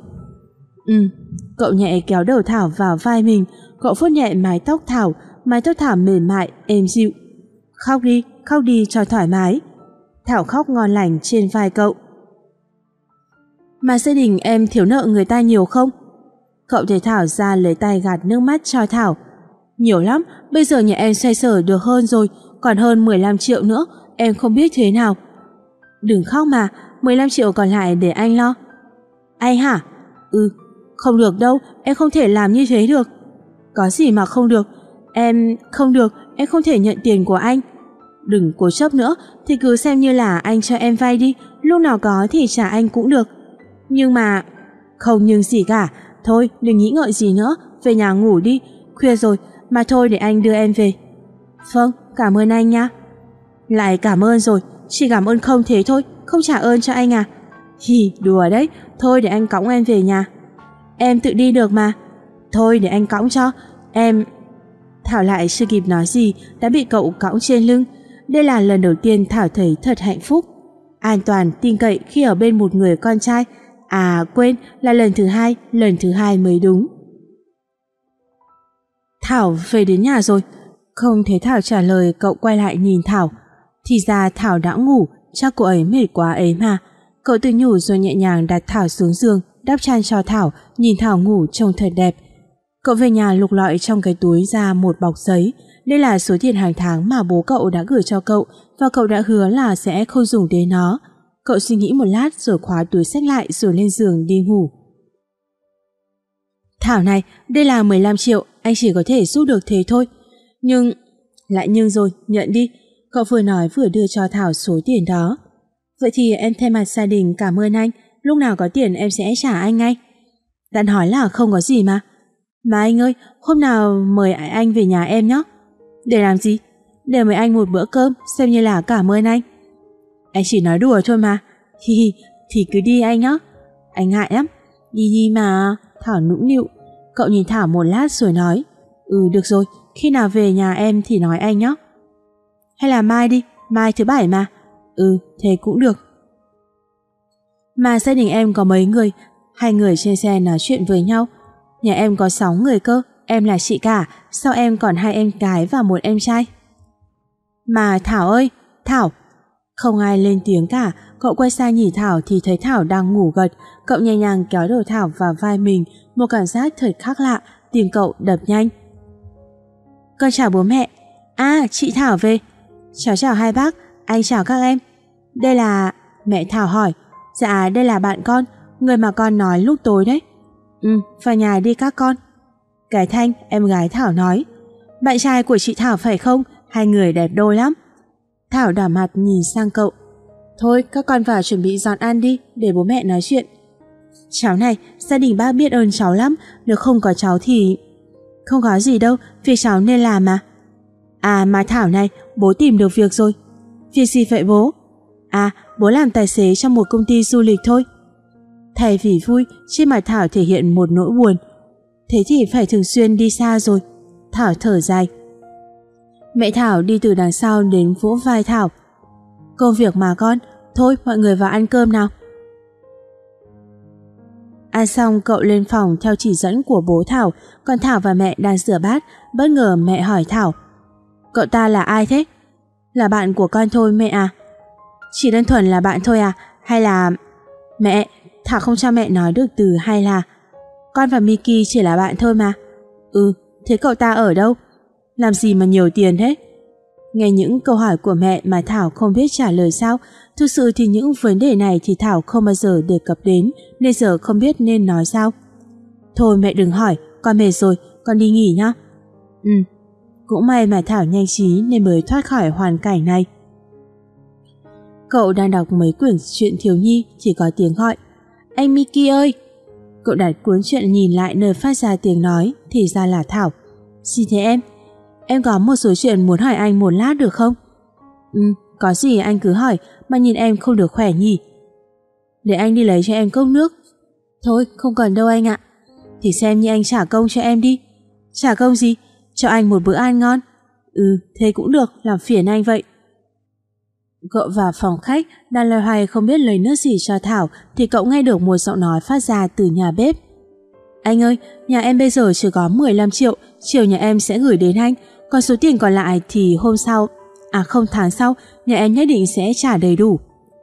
Vâng, vâng, cảm ơn anh. Mickey, cháu làm gì ở đây? Cậu lung túng không biết nói sao. Dạ cháu, cháu, cháu đang lấy nước cho Thảo ạ. Nó có vẻ mệt bác ạ.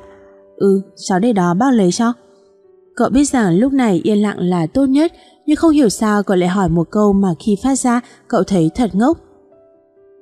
Nhà ta nghèo lắm hả bác? Ừ, Tại sao hả, bác? Mẹ của Thảo vào bếp loay hoay lấy nước cho Thảo rồi nói. Trước đây nhà bác cũng khá giả, Nhưng vì bác trai cờ bạc nên mới ra nông nỗi này. Nói thật, nếu nhà bác không có Thảo Thì sẽ không sống được đến bây giờ. Cậu thấy giọng bà nghẹn lại Và bà khẽ run Hình như bà đang khóc. Bà nói tiếp. Trước đây cuộc sống nhà bác cũng tạm được, Cũng được đi nhiều nơi, Nhưng lần cuối là đi tham quan quê bác Hồ. Lúc đó nhà bác để lắng mất Thảo May mà một cậu bé giúp nó. Ngày xưa nó dễ thương lắm. Sợ bà có vẻ tự hào. Thảo đây có phải không bác? Cậu chỉ vào ảnh của một cô bé rất thanh quen treo trên tường. Ừ đúng rồi là nó đấy. Đó là ảnh nhà bác chụp khi nhà bác về quê bác Hồ. Chẳng lẽ là cô ấy Bao dáng, nụ cười Đặc biệt là kiểu tóc buộc hai trỏm ra hai bên rất đáng yêu Mà trước đây cậu đã gặp rất lâu rồi. Anh hứa khi anh lớn lên sẽ đưa em lại thăm chốn này. Anh hứa lớn lên, nhất định lớn lên anh sẽ yêu em, nhất định lớn lên anh sẽ lấy em làm vợ. Chẳng lẽ em... Miki, cháu đang nghĩ gì thế? Cháu... À không, không có gì đâu ạ. Cậu sượt mình đáp. Nước pha xong rồi đây. Cảm ơn bác ạ, cháu lên phòng đây. Thảo ơi, nước đây em uống đi. Cậu mở cửa đi vào và cậu bật cười nhìn Thảo. Thảo đang ngủ trên cái bàn học của cái thanh. Cậu lấy chăn đáp cho Thảo vô tình làm Thảo tỉnh giấc. Cô tỉnh dậy, chịu đôi mắt nhìn lên người vừa đáp chăn cho mình. Thảo luống cuống đỏ mặt khi nhìn thấy cậu. Anh, anh, em ngủ lâu chưa thế? Anh không biết, mà em uống nước đi, có chuyện gì mà tìm anh thế? À ừm, cũng không có gì to tát lắm. Lúc nãy em rửa bát với mẹ, mẹ có hỏi về anh mà em không biết trả lời sao. Quả thật từ lúc quen anh đến giờ, em không biết gì về anh ngoài cái tên là Miki cả. Bây giờ anh có thể cho em biết một ít về anh được không? Em chưa biết gì về anh mà cũng làm bạn với anh được. Em tin tưởng người quá đấy. Em, em thì... Cậu nhìn Thảo mỉm cười, cậu nói tiếp. Thế muốn biết gì về anh nào? Thì tên thật, quê quán, gia đình, người yêu, bạn bè. Sao nhiều thế? Thì em đã biết gì về anh đâu. Được rồi, anh sẽ trả lời từng cái một, em chịu khó lắng nghe nha. Tên thì em cứ gọi anh là Miki, anh ở Nghệ An.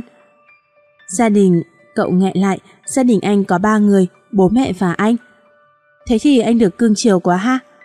Cưng chiều, cậu cười đau khổ. Ừ, dĩ nhiên rồi. Thế còn người yêu? Người yêu, có lẽ lâu lắm rồi cậu không còn biết người yêu nó là cái gì. Bất chợt cậu thở dài nhớ đến Nhung khiến Thảo tò mò. Sao lại thở dài? Bộ có người yêu rồi hả? Chưa có, đang cô đơn. Thật hả? Không đùa chứ. Anh đùa làm gì mà anh trả lời thế được không? Còn câu hỏi nào nữa không? Còn nhiều lắm, mà bố anh làm gì thế? Bố anh, bố anh làm công nhân thôi. Thế mẹ anh? Cậu thở dài. Sao lại thở dài suốt thế? Không có gì, mẹ anh làm ruộng thôi. Mà thế đã được chưa? Chắc Hảo Anh từ nãy đến giờ đã đủ chưa thế? Cậu lập tức nói như thể muốn nói với Thảo rằng em đừng hỏi nữa. Cậu sợ Thảo sẽ hỏi những câu mà chính cậu cũng không trả lời được. Thế em không hỏi nữa đâu. Sao thế? Để dành hôm sau nói tiếp. Thôi em xuống phòng đây. Nói đoạn Thảo bước ra ngoài đóng cửa. Nhìn Thảo bước đi, bỗng chốc cậu khẽ mỉm cười rồi cầm cuốn truyện lên đọc tiếp.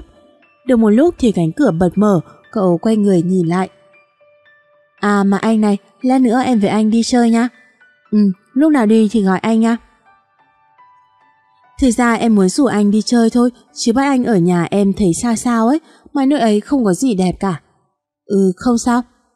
Đi được một đoạn, Thảo bỗng hít một hơi thở sâu rồi chạy nhanh đến phía trước, giang hai tay xoay vòng tròn rồi nói Ôi, hôm nay gió mát thế, trời lại không nắng, thích thật. Cậu bật cười nhìn Thảo khiến Thảo xấu hổ, không nghịch nữa. Mới về à? Tình nói của Tâm, bạn Thảo. Em chào anh. Cậu đáp lại bằng một nụ cười. Ừ, chào em. Tâm đi nhanh bước đến bên Thảo, khẽ nói nho nhỏ với Thảo. Đã dẫn người yêu về nhà rồi cơ đấy, vụ này không khao không được rồi. Mày nói bậy, bạn bình thường thôi, người yêu gì chứ? Thảo đỏ mặt không dám nhìn cậu. Anh gì ơi, nói gì đi chứ, có người nói chỉ là bạn bình thường thôi kìa. Cậu cười cười rồi đáp. Mà khao gì vậy? Tưởng đâu Miki sẽ nói không phải, ai ngờ, Thảo nghĩ. Bọn em nói nếu ai có người yêu thì phải khao một chầu sữa chua đấy. Vậy thì đi thôi, em dẫn đường đi. Cậu vừa nói vừa bước nhanh lên phía trước thì bị Thảo kéo lại. Anh, chúng ta... Thôi đi nào. Cậu nắm lấy bàn tay của Thảo rồi kéo Thảo đi, không còn biết nói gì nữa, lặng lẽ đi theo cậu. Cái tâm nhanh chóng lấy điện thoại ra gọi cho Lan, đứa bạn trong nhóm. Alo, Maya, con nhỏ Thảo nó có người yêu rồi. Đi ăn khao nào, chú cũ nhóc. Ở trong một cái quán nho nhỏ có những tiếng cười nói rất to, ở đó có ba cô gái và một chàng trai đang bàn luận. Thảo, mày có người yêu lúc nào thế? Wow, đẹp đôi quá. Lại tìm được một cao to đẹp trai nữa chứ. Đúng là trai tài gái sắc, mày chọn chuẩn thật đấy. Không bù cho bọn tao, chưa có này. Lần này khao to đây, đôi đầu tiên. Những nhân vật phụ cứ ùa vào nói, còn hai nhân vật chính thì ngồi im thiên thít không nói gì cả. Trả lời đi Thảo kia. Cậu sụp Thảo làm Thảo lúng túng chẳng biết nói gì, quay mặt nhìn cậu. Anh, anh, em... Cậu mỉm cười. Thôi mọi người ăn sữa chua đi, các câu hỏi của em anh sẽ trả lời sau. Ai sữa chua đi, Thảo của chúng ta hôm nay không nói được gì rồi. Mà mọi người giới thiệu về mình đi. Ờ, quên mất. Có sữa chua rồi là quên luôn à, Thảo nhà ta mãi mới nói được một câu. Em là Tâm, là bạn học cùng nó từ nhỏ đến hết 12. Còn em là Lan, bạn của nó hồi cấp 3 thôi. Còn anh? Anh là bạn của Thảo, cứ gọi anh là Miki, anh ở Nghệ An. Là bạn thôi à, chứ không phải là người yêu à? Là bạn thôi, Thảo lên tiếng. ta không hỏi mày. Thảo im lặng không biết nói gì, chỉ còn biết ngồi ăn sữa chua. Ừ, chỉ là bạn thôi, cậu nói. Thì bạn trai với người yêu đều như nhau mà. La lên tiếng làm cả hai cười ở Mỹ. Cậu lắc đầu nhìn hai cô bạn gái trước mắt rồi cười nói. Thế hai em lúc nào mới định mời lại đây? Mời lại gì? Sữa chua? Thì bọn em đã có đâu mà. Thì các em định lúc nào có? Bọn em sẽ ở vậy, ha ha. Có ở vậy được không? Thảo lên tiếng. Lúc nào có thì gọi mình đi với nhé. Ok sẽ ở, lúc nào có em gọi cho. Chỉ sợ đến khi nhà mình có thì Thảo nhà mình đã theo người ta vào Nghệ An rồi, muốn mời cũng không được. Lúc đó nhà mình sẽ cho ăn bù nha, ha ha. Thấy hai nhân vật phụ cứ ủa vào nói, Thảo giận lắm, nhẫn nhịn từ nãy đến giờ bèn lên tiếng. Này, thế anh Phong của mày đâu rồi Tâm? Thảo hỏi. Phong nào? Tao đâu có biết. Còn Phong nào nữa? phòng lớp A1 chứ còn Phong nào nữa? Hi hi, còn cười được à? Thế cái cây tên là Tâm đã bị cưa đổ chưa thế? Còn lâu nhá, cây này chắc lắm. Chắc à, anh Phong nhà mày cầm cái cưa sắc lắm, không đổ mới là lạ đấy. Ha ha, đúng đấy, đúng đấy, làn ùa vào. Còn mày nữa, cái anh gì lớp B1 viết thư tình cho mày đâu rồi? Lan im re không biết nói gì nữa. Bọn mày tưởng những chuyện bọn mày làm qua mắt được tao à? Thôi mà, chị Thảo tha cho bọn em đi. Thảo cốc mỗi người một cái. Ăn sữa chua đi. Tàn liên hoan, hai người trở về nhà. Tại sao? Ý em muốn hỏi tại sao anh lại như vậy đúng không? Vậy sao? Cũng không có gì. Với lại cũng định rủ em đi đâu đấy thì gặp bạn em, nhân tiện cũng đi luôn. Mà anh cũng xin lỗi làm em khó xử. Không sao, dù sao cũng cảm ơn anh nha. Không có gì. Mà anh ơi, tối nay ở lại đây, mai lên trường nha. Sao lại thế được, anh phiền em nhiều rồi. Không sao, tối ở lại đây cùng gia đình em nhé. Thôi, anh phải lên trường đây. Vậy cũng được, tùy anh. Cháu định lúc nào lên Hà Nội? Dạ, tối nay cháu đi ạ. Sao sớm thế, mai chủ nhật mà. Cháu bận ạ. Bận gì chủ nhật, tối ở đây với gia đình bác, mai đi với con gái bác luôn, thế nhá. Sao có thể làm phiền bác được? Phiền gì chứ, cháu cứ ở lại đây, giờ cũng sắp tối rồi. Dạ, thế cháu làm phiền gia đình bác vậy. Chỉ cần một câu nói thế thôi mà đã làm một người vui sướng lên rồi. Sau buổi ăn tối cùng gia đình Thảo, Thảo cùng mẹ xuống bếp rửa bát, còn cậu với bố của Thảo. Cháu này, sau này bác đi làm thường xuyên không có thời gian chăm lo cho Thảo được nữa. Sau này có gì nhờ cháu chăm sóc Thảo hộ bác nhé, nó khổ nhiều rồi. Vâng, nhất định cháu sẽ chăm sóc cho Thảo, bác cứ yên tâm. Mà cũng tại bác, đôi mắt ông rưng rưng như muốn khóc, ông nói tiếp. Không phải tại bác thì Thảo đâu có khổ như thế, ở cái tuổi này lẽ ra nó phải được vui chơi, học hành thì nó phải làm việc cuồn cuộn cả ngày để trả nợ cho bác. Bác thấy có lỗi với Thảo quá. Thôi bác đừng buồn nữa, mọi chuyện qua rồi mà. Dù sớm hay muộn thì bác cũng nhận ra lỗi lầm của mình rồi. Thế là Thảo cũng có một người cha tuyệt vời rồi. Thảo may mắn hơn cháu.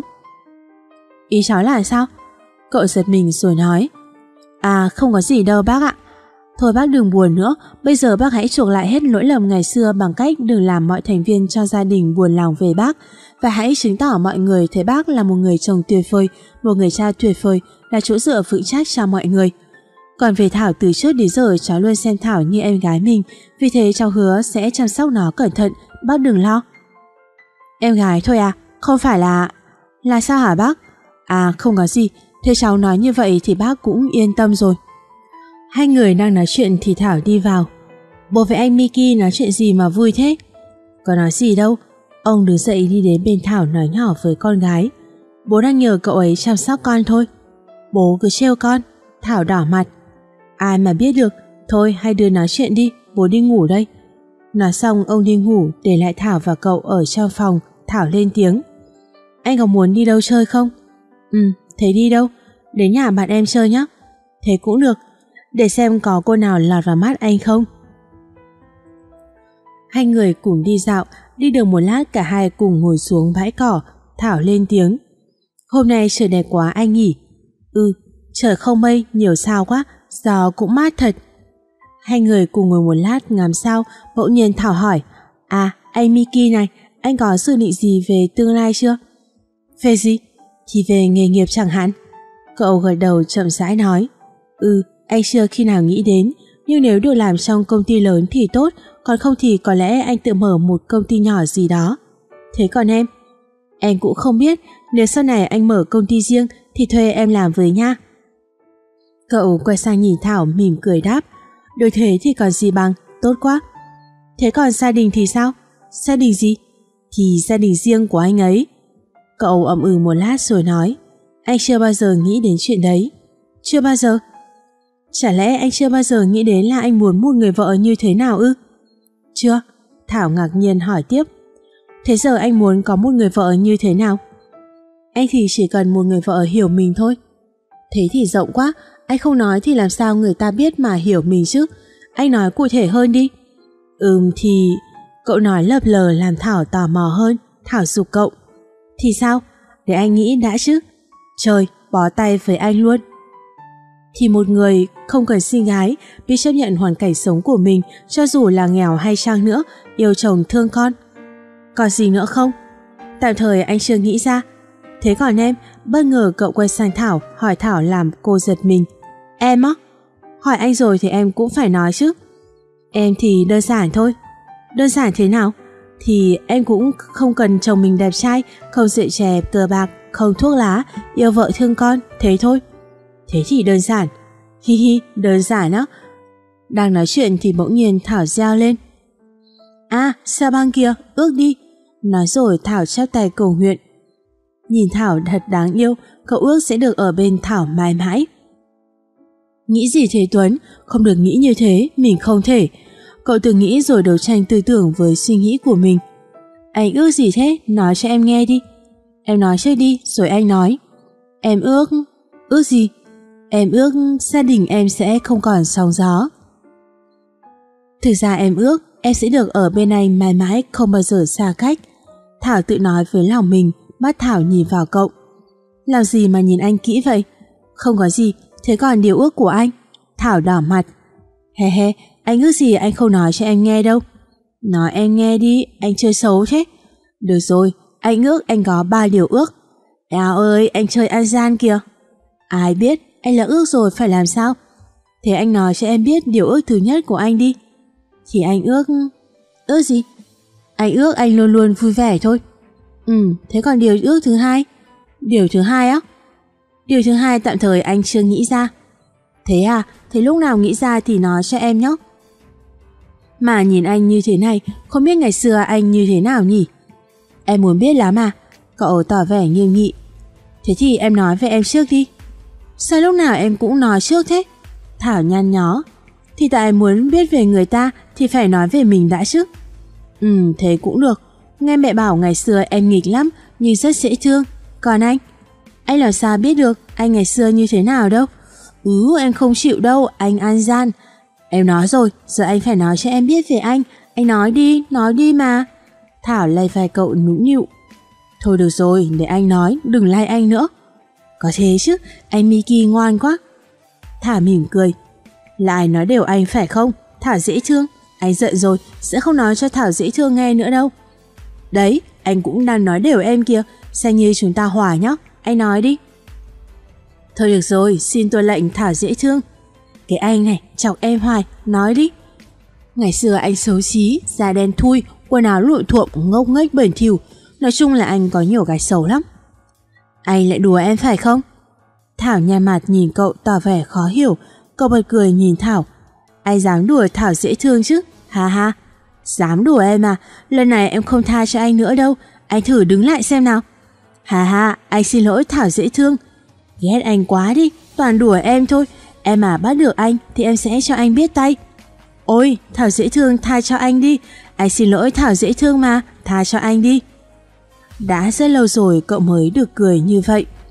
Ghét anh quá đi, không thèm nói chuyện với anh nữa. Thôi mà. À, Thảo giả vờ bị phấp rồi ngồi bệt xuống thảm cỏ. Em làm sao thế? Cậu lo lắng chạy lại. À, bắt được anh rồi, xem anh giờ chạy được đường nào. Cậu nhìn Thảo, Thảo nhìn cậu, bốn con mắt nhìn nhau, một khoảng yên lặng cậu không biết vì sao lại như vậy. Bảo sang nhà bạn chơi, thế mà toàn nói chuyện vớ vẩn, khuya rồi còn đâu đâu. Câu nói của cậu là cả hai người thoát khỏi cảnh ấy. Thảo lung cuống rút tay của mình ra khỏi bàn tay của cậu rồi quay mặt đi không dám nhìn cậu. Ừ, cũng tại em thôi. Thôi về ngủ, mai còn lên Hà Nội. Anh ơi, tối nay em muốn mời anh đi ăn kem nhé. Thôi không cần đâu, thì em muốn trả ơn anh mà. Trả ơn gì? Thì tối anh cứ đi đi nha, đi là biết liền à. Thế cũng được, thế thì tối gặp lại. Trong đêm tối có hai người rất đẹp đôi đang đi với nhau, mọi người cứ ngỡ là họ yêu nhau, thực ra chẳng có gì. Hai người nói chuyện rất vui vẻ, đi được một đoạn thì bỗng gặp một đám người, phải đến tầm 15-20 thằng, có vẻ như là chờ ai đó, trên tay ai cũng có gậy. Ê, mày còn nhớ bọn tao nữa không? Hai người đứng lại, cậu biết chuyện gì sắp xảy ra, cậu liền quay sang Thảo nói nhỏ với Thảo. Em nghe anh nói này, chuyện này không liên quan gì đến em cả, giờ em hãy chạy, chạy càng xa càng tốt. Thảo không hiểu chuyện gì đang xảy ra, nhưng có vẻ như có chuyện chẳng lành, Thảo còn đoán được hai ba phần. Em... em không thể để anh ở đây một mình được. lý thế, bảo chạy đi, nhanh càng xa càng tốt. Cậu rụt Thảo rồi để Thảo đi rồi tiến lên mấy bước nói lớn. À, tưởng ai? Bọn mày à? Hôm trước tao đánh cho thế mà hôm nay vẫn dám đến đây. Hôm nay khác rồi, tụi bay, đánh nó cho tao. Cậu quay lại và bất chợt thấy Thảo đang đứng sau cậu không xa. Cậu hét lên. Sao còn đứng đó, chạy nhanh đi. Thảo giật mình lùi mấy bước. Bắt con nhỏ đó cho tao. Một tên hét lên. Hai ba thẳng lao tới định đánh Thảo. Thảo không biết làm gì nữa, chỉ biết ngồi xuống mà nhận đòn của chúng. Thảo hét lên. À, bốp. Không hề cảm thấy đau đớn, ngược lại Thảo thấy thật ấm áp. Thảo mở mắt xem có chuyện gì xảy ra, thì ra cái đòn ấy không đánh trúng Thảo mà chúng người đã đỡ đòn cho Thảo là cậu. Anh không sao chứ? Nước mắt Thảo ứa ra. Bảo chạy đi còn ở đây làm gì? Chạy đi! Cậu hét lên, Thảo bỏ chạy. Bọn mày chán sống rồi sao? Dám đánh người yêu tao à? Thảo giật mình đứng lại. Anh vừa nói gì? Chẳng lẽ em... Chạy nhanh lên, đứng đó làm gì? Thảo giật mình rồi bỏ chạy. Nam sáu người cậu còn trụ được, đằng này những 15-20 thằng với lại ai cũng mang gậy bên mình và đương nhiên cậu không thể đánh lại. Mày muốn chết phải không? Hôm nay tao sẽ cho mày tọa nguyện. Thằng đại ca lấy một cái dao trong người ra lao vào định đâm cậu. Cậu may mắn tránh được chỗ hiểm nhưng bị trúng ở tay, máu bắt đầu chảy ra. Cậu thê choáng váng, cậu gục xuống tay phải nắm chặt lấy chỗ bị thương. Đánh nó đi tụi bay. Cả một đám người lao vào định đánh thì Đứng lại, tất cả đứng im. Cả đám hoảng loạn, mấy chú công an đi đến, may mà đến kịp thời. Cậu không sao chứ? Một chú công an chạy lại hỏi cậu, cậu đau đớn trả lời. Cháu không sao. Cũng may vừa kịp, may cho cậu là cô bé kia báo cho chúng tôi. Cảm ơn chú. Đừng cảm ơn tôi, hãy cảm ơn cô bé kia kia. Vâng, Thảo chạy lại bên cậu khóc nước nở. Anh Miki, anh không sao chứ? Anh không sao, không chết đâu mà sợ. Để em xem nào. Anh không sao, về nhà thôi. Có cái gì không ổn, tay trái của Miki nắm chặt lấy tay phải của mình, có vẻ như đau đớn lắm. Thảo hỏi. Cánh tay anh bị gì vậy? Cậu nhìn vào cánh tay của mình, nơi từng dòng máu nóng hổi đang càng lúc càng tuôn ra nhiều. Cậu vẫn cố gắng gượng cười cho Thảo an tâm rồi nói. À, chỉ bị thương ngoài da thôi, không sao. Để em xem nào, chảy máu thế này mà còn bảo không sao, để em đưa anh vào bệnh viện. Đừng, anh không sao. Nói rồi cậu cởi cái áo sơ mi ra quấn quanh chỗ bị thương. Để em đưa anh vào bệnh viện, máu chảy nhiều quá. Anh không thích vào bệnh viện. Tại sao? Vì anh ghét, em đừng hỏi nữa, mình về thôi. Vậy để em dìu anh về. Thôi, để anh tự đi được mà. Để em dìu anh. Ừ, thế cũng được, cảm ơn em. Để em băng bó cho anh nhá. Ừ, anh cởi áo ra đi. Phải cởi áo à? Anh ngại à? Em không ngại thì thôi chứ anh ngại gì chứ? Không, ai chứ với Thảo dễ thương thì ngại gì? Cái anh này chọc em hoài. Thảo vừa nói vừa đánh cậu. À, cậu nhăn nhó. Em xin lỗi, em không cố ý. Không sao, anh cởi áo ra đi. Ừ, tại anh bị thế này mà bảo là bị ngoài da thôi, với lại bầm hết rồi này, anh chịu đau một tí nhé. Xong rồi đấy, cảm ơn em nha. Không có gì mà những vết... Em muốn hỏi những vết sẹo chứ gì? Do bố anh đánh anh đấy. Bố anh? Nhưng tại sao? Thảo ngạc nhiên. Chả vì sao cả, vì bố anh ghét anh thôi. Anh đùa em à? Đùa gì chứ? Cậu gắt lên. Anh kể cho em nghe đi, vì sao bố anh ghét anh? Tốt nhất là em đừng nên biết. Thôi em về đi, khuya rồi, anh mệt lắm. Cho dù đang tò mò muốn biết lý do tại sao bố cậu ghét cậu, nhưng nhìn cậu có vẻ mệt nên Thảo nói. Thế em về đây, anh nghỉ đi nha. Thảo bước ra cửa thì tiếng gọi của cậu làm Thảo đứng lại. Thảo này, sao vậy anh? Cảm ơn em. Vì cái gì? Thảo ngơ ngác nhìn cậu. Cứu anh. Anh cũng cứu em à, xem như là hòa. Thảo cười một nụ cười thật tươi rồi nói tiếp. Anh nghỉ ngơi nha, em về đây. Thảo về đến nhà. Bọn mày chán sống rồi sao? Dám đánh người yêu tao hả? Thảo đỏ mặt khi nghĩ lại câu nói của cậu. Chẳng lẽ... Nhưng nếu thế thì tại sao anh ấy không nói chứ? Hơn nữa, Nhung là ai? Tại sao lại có trong nhật ký của anh?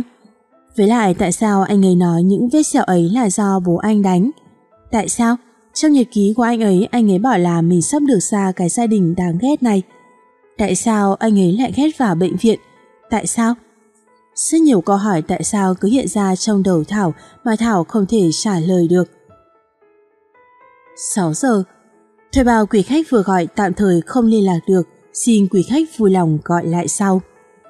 6 giờ 5 phút Thuê bao quý khách vừa gọi 6 giờ 10 Thuê bao Tại sao lại không liên lạc được Thường ngày anh có thế đâu 6 giờ 15 phút Thuê bao 6 giờ 20 phút Thuê bao Hôm nay Thảo cố tỉnh dậy thật sớm để hỏi xem cậu thế nào rồi, đã đỡ hay là chưa, nhưng suốt cuộc thì suốt 20 phút vừa rồi Thảo chẳng gọi được cho cậu. Vẫn là một giọng nói vang lên lặp lại một điệu khúc muôn thuở, điều mà hầu như từ trước đến nay không bao giờ có khi Thảo gọi cho anh. Điều này làm Thảo lo lắng hơn. Có chuyện gì với anh ấy vậy? Sao lại thuê bao? Hay là... Không, anh ấy có thể bị sao được chứ? Chắc anh ấy bận gì thôi. Thảo tự an ủi lòng mình nhưng vẫn không thoát khỏi những suy nghĩ bất an. 6 rưỡi, Thảo bắt đầu thấy lo lắng. Thảo đứng ngồi không yên rồi quyết định chạy sang nhà cậu. Cửa phòng cậu mở, Thảo chạy vào, cậu đang nằm dưới đất. Thảo hoảng hốt đến bên cạnh cậu. Anh Miki, anh Miki ơi, anh làm sao vậy, tỉnh dậy đi, anh Miki. Thảo bắt đầu khóc, người cậu lạnh thoát. Thảo dìu cậu lên giường, máu ở cánh tay chảy ra ướt sẫm cả áo cậu còn thở. Thảo lấy băng băng vết thương của cậu lại, đáp chăn cẩn thận cho cậu. Thảo liền gọi taxi đưa cậu vào bệnh viện thì bỗng giật mình nghe giọng nói của cậu. Thảo ơi, Thảo! Thảo giật mình quay lại nhìn. Em Miki, em đây. Thì ra anh ấy đang mơ. Em đừng đi, anh cần em. Thảo đang đỏ mặt khi cậu gọi tên mình trong giấc mơ. Đáng đứng nhìn cậu thì cậu nói tiếp. Nhung ơi, sao bạn lại ở đây? Đến giúp mình à? Bạn nói xem mình phải làm gì đây? Mình không muốn ai vì mình mà. Mình mệt mỏi lắm rồi, mình sợ lắm rồi. Im lặng. Anh Miki vừa nói gì thế nhỉ? Nhung là ai? Tại sao ngay cả giấc mơ anh Miki cũng gọi tên cô ấy? Tại sao anh lại bảo là mệt mỏi, sợ lắm rồi? Thảo tự nghĩ trong đầu, bây giờ lại bổ sung thêm những câu hỏi tại sao, bây giờ trong đầu Thảo là một chuỗi câu hỏi tại sao không lời đáp. Thảo đến bên cậu, nhìn cậu, không hiểu sao tay Thảo lại đưa xuống vuốt má cậu, vuốt tóc cậu. Tim của Thảo đập không đúng nhịp nữa rồi. Thảo! Hả?